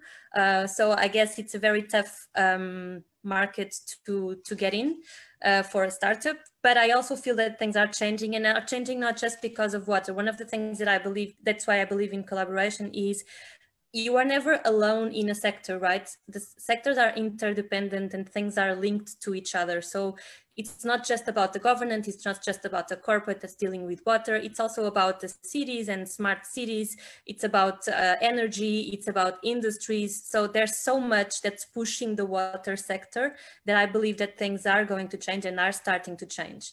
I also believe that because it's very government oriented and it's still very um, old in a not not a negative way. Um, there's this uh, risk uh, aversion uh, in startups, and you guys know it. Uh, you are seen as like these risk takers and these not so safe uh, things to go for. So it's the, it's very normal that there's this clash and that there's this disruption. Um, and I that's why I do believe in these open innovation programs. I think that they bring um, exactly what both corporates or governments and startups need. They bring the structure to the startups, processes to follow that make the corporates and the government a little bit less afraid of taking the risks with these startups. And that's why they are they are okay because you find this common ground, this common purpose, um, and you're all committed into going into something with a goal in mind. Uh, and that common goal and common purpose actually helps you in overcoming any barriers that, that may take place. Um, so I do believe that in order for things to be more successful, startups and entities, bigger entities need to find some sort of framework to work with and not just uh, this random um, case by case chance sometimes is not the best option. And Sophie, if you can help me remember the, the, the last second questions. Uh, uh, my last one was uh, this connection universities uh, and how to do the tech transfer for corporates. Yeah, well, uh, we haven't, um, I, I, can't say, I, I, believe in you, Bruno, when you say that. Uh, if adding to the risk of startups, having a startup that comes from an university background, I can understand why people would be afraid of, of committing to something. And i can understand businesses do want to find startups that know what they're talking about that know their businesses that know their challenges. So i believe that can happen. Uh, but i think and I, I know that there is a difference between what you see uh, in portugal between what you see in the world. Um, but I, I don't I don't believe it's a matter of like you're saying Sophia marketing. I believe it's a matter of communication it's finding the right path for communication. It's understanding what they want what corporates or governments need to hear um, and and be more focused in that. Um, because as you were saying once you show them results uh, it's it's it's all about results right? It's all about overcoming that risk aversion at, in the first place. So I do believe in that. It's not disguising. And there is a lot of value from coming from universities and that um, the, the, the science that's related to that and the knowledge that is related to that is very valuable. Uh, so I do believe it's a matter of um, showing off what you can do uh, again, that's why I believe in these open innovation programs because there is this space for you to do it. Um, that would be my, my advice. All right, uh, we are over time. Uh, I thank you so much, Bruno, Francisco, Mafalda, Nuno, and Rui for joining us here today. I'm not sure we have time for Q&A, so I will lead. Uh, I will I will ask Manon and Filipa help in this sense. Uh, and and but anyway i just want to thank you all for this overview for me we would continue the conversation but we have to finish Thank you so much, everyone, and thank you, Sophia, for uh, moderating this panel. Uh, unfortunately, indeed, we are running uh, a bit late, so um, I would like to ask any participants with questions to address them in the chat, and we will make sure to forward them to the panel members. Um, for now, I would like to ask uh, Nuno uh, to uh, come back to us with a wrap up of the conference. Okay.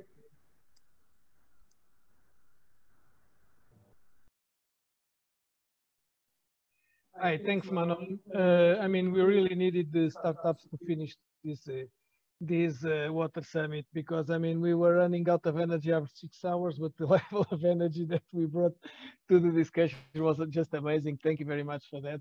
It was really good. Um, I mean, I'm about to close. I'm really uh, six hours talking about water. I've learned a lot, and I'm sure everybody learned a lot.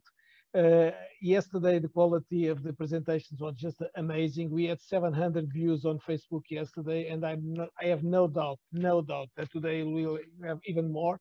Uh, all of these will be um, has been recorded and will go to Facebook later this afternoon today. So it was really amazing. Yesterday, as I said at the beginning, we left with four key messages. Water scarcity is undeniable. Business have a clear role to play. Partnerships are crucial, and time for action is now and more or less we saw it confirmed. And that, let me just in two minutes try to to take my takeaways. I mean, we started with the inspirational story from water.org, right? And and the, the, the way they talk about it, it's again the water scarcity problem, but it's much more than that. It's this vision that it's about crisis. I mean, water crisis is a health crisis, is a human crisis, is a children education crisis. Six hours to collect water. So that's what brings this emotion into the story that says uh, this is seriously uh, an issue. And I always come back to, the, to what, what Filipe said yesterday at the beginning. I mean, there will be a moment if we are not careful that water will have the price of diamonds.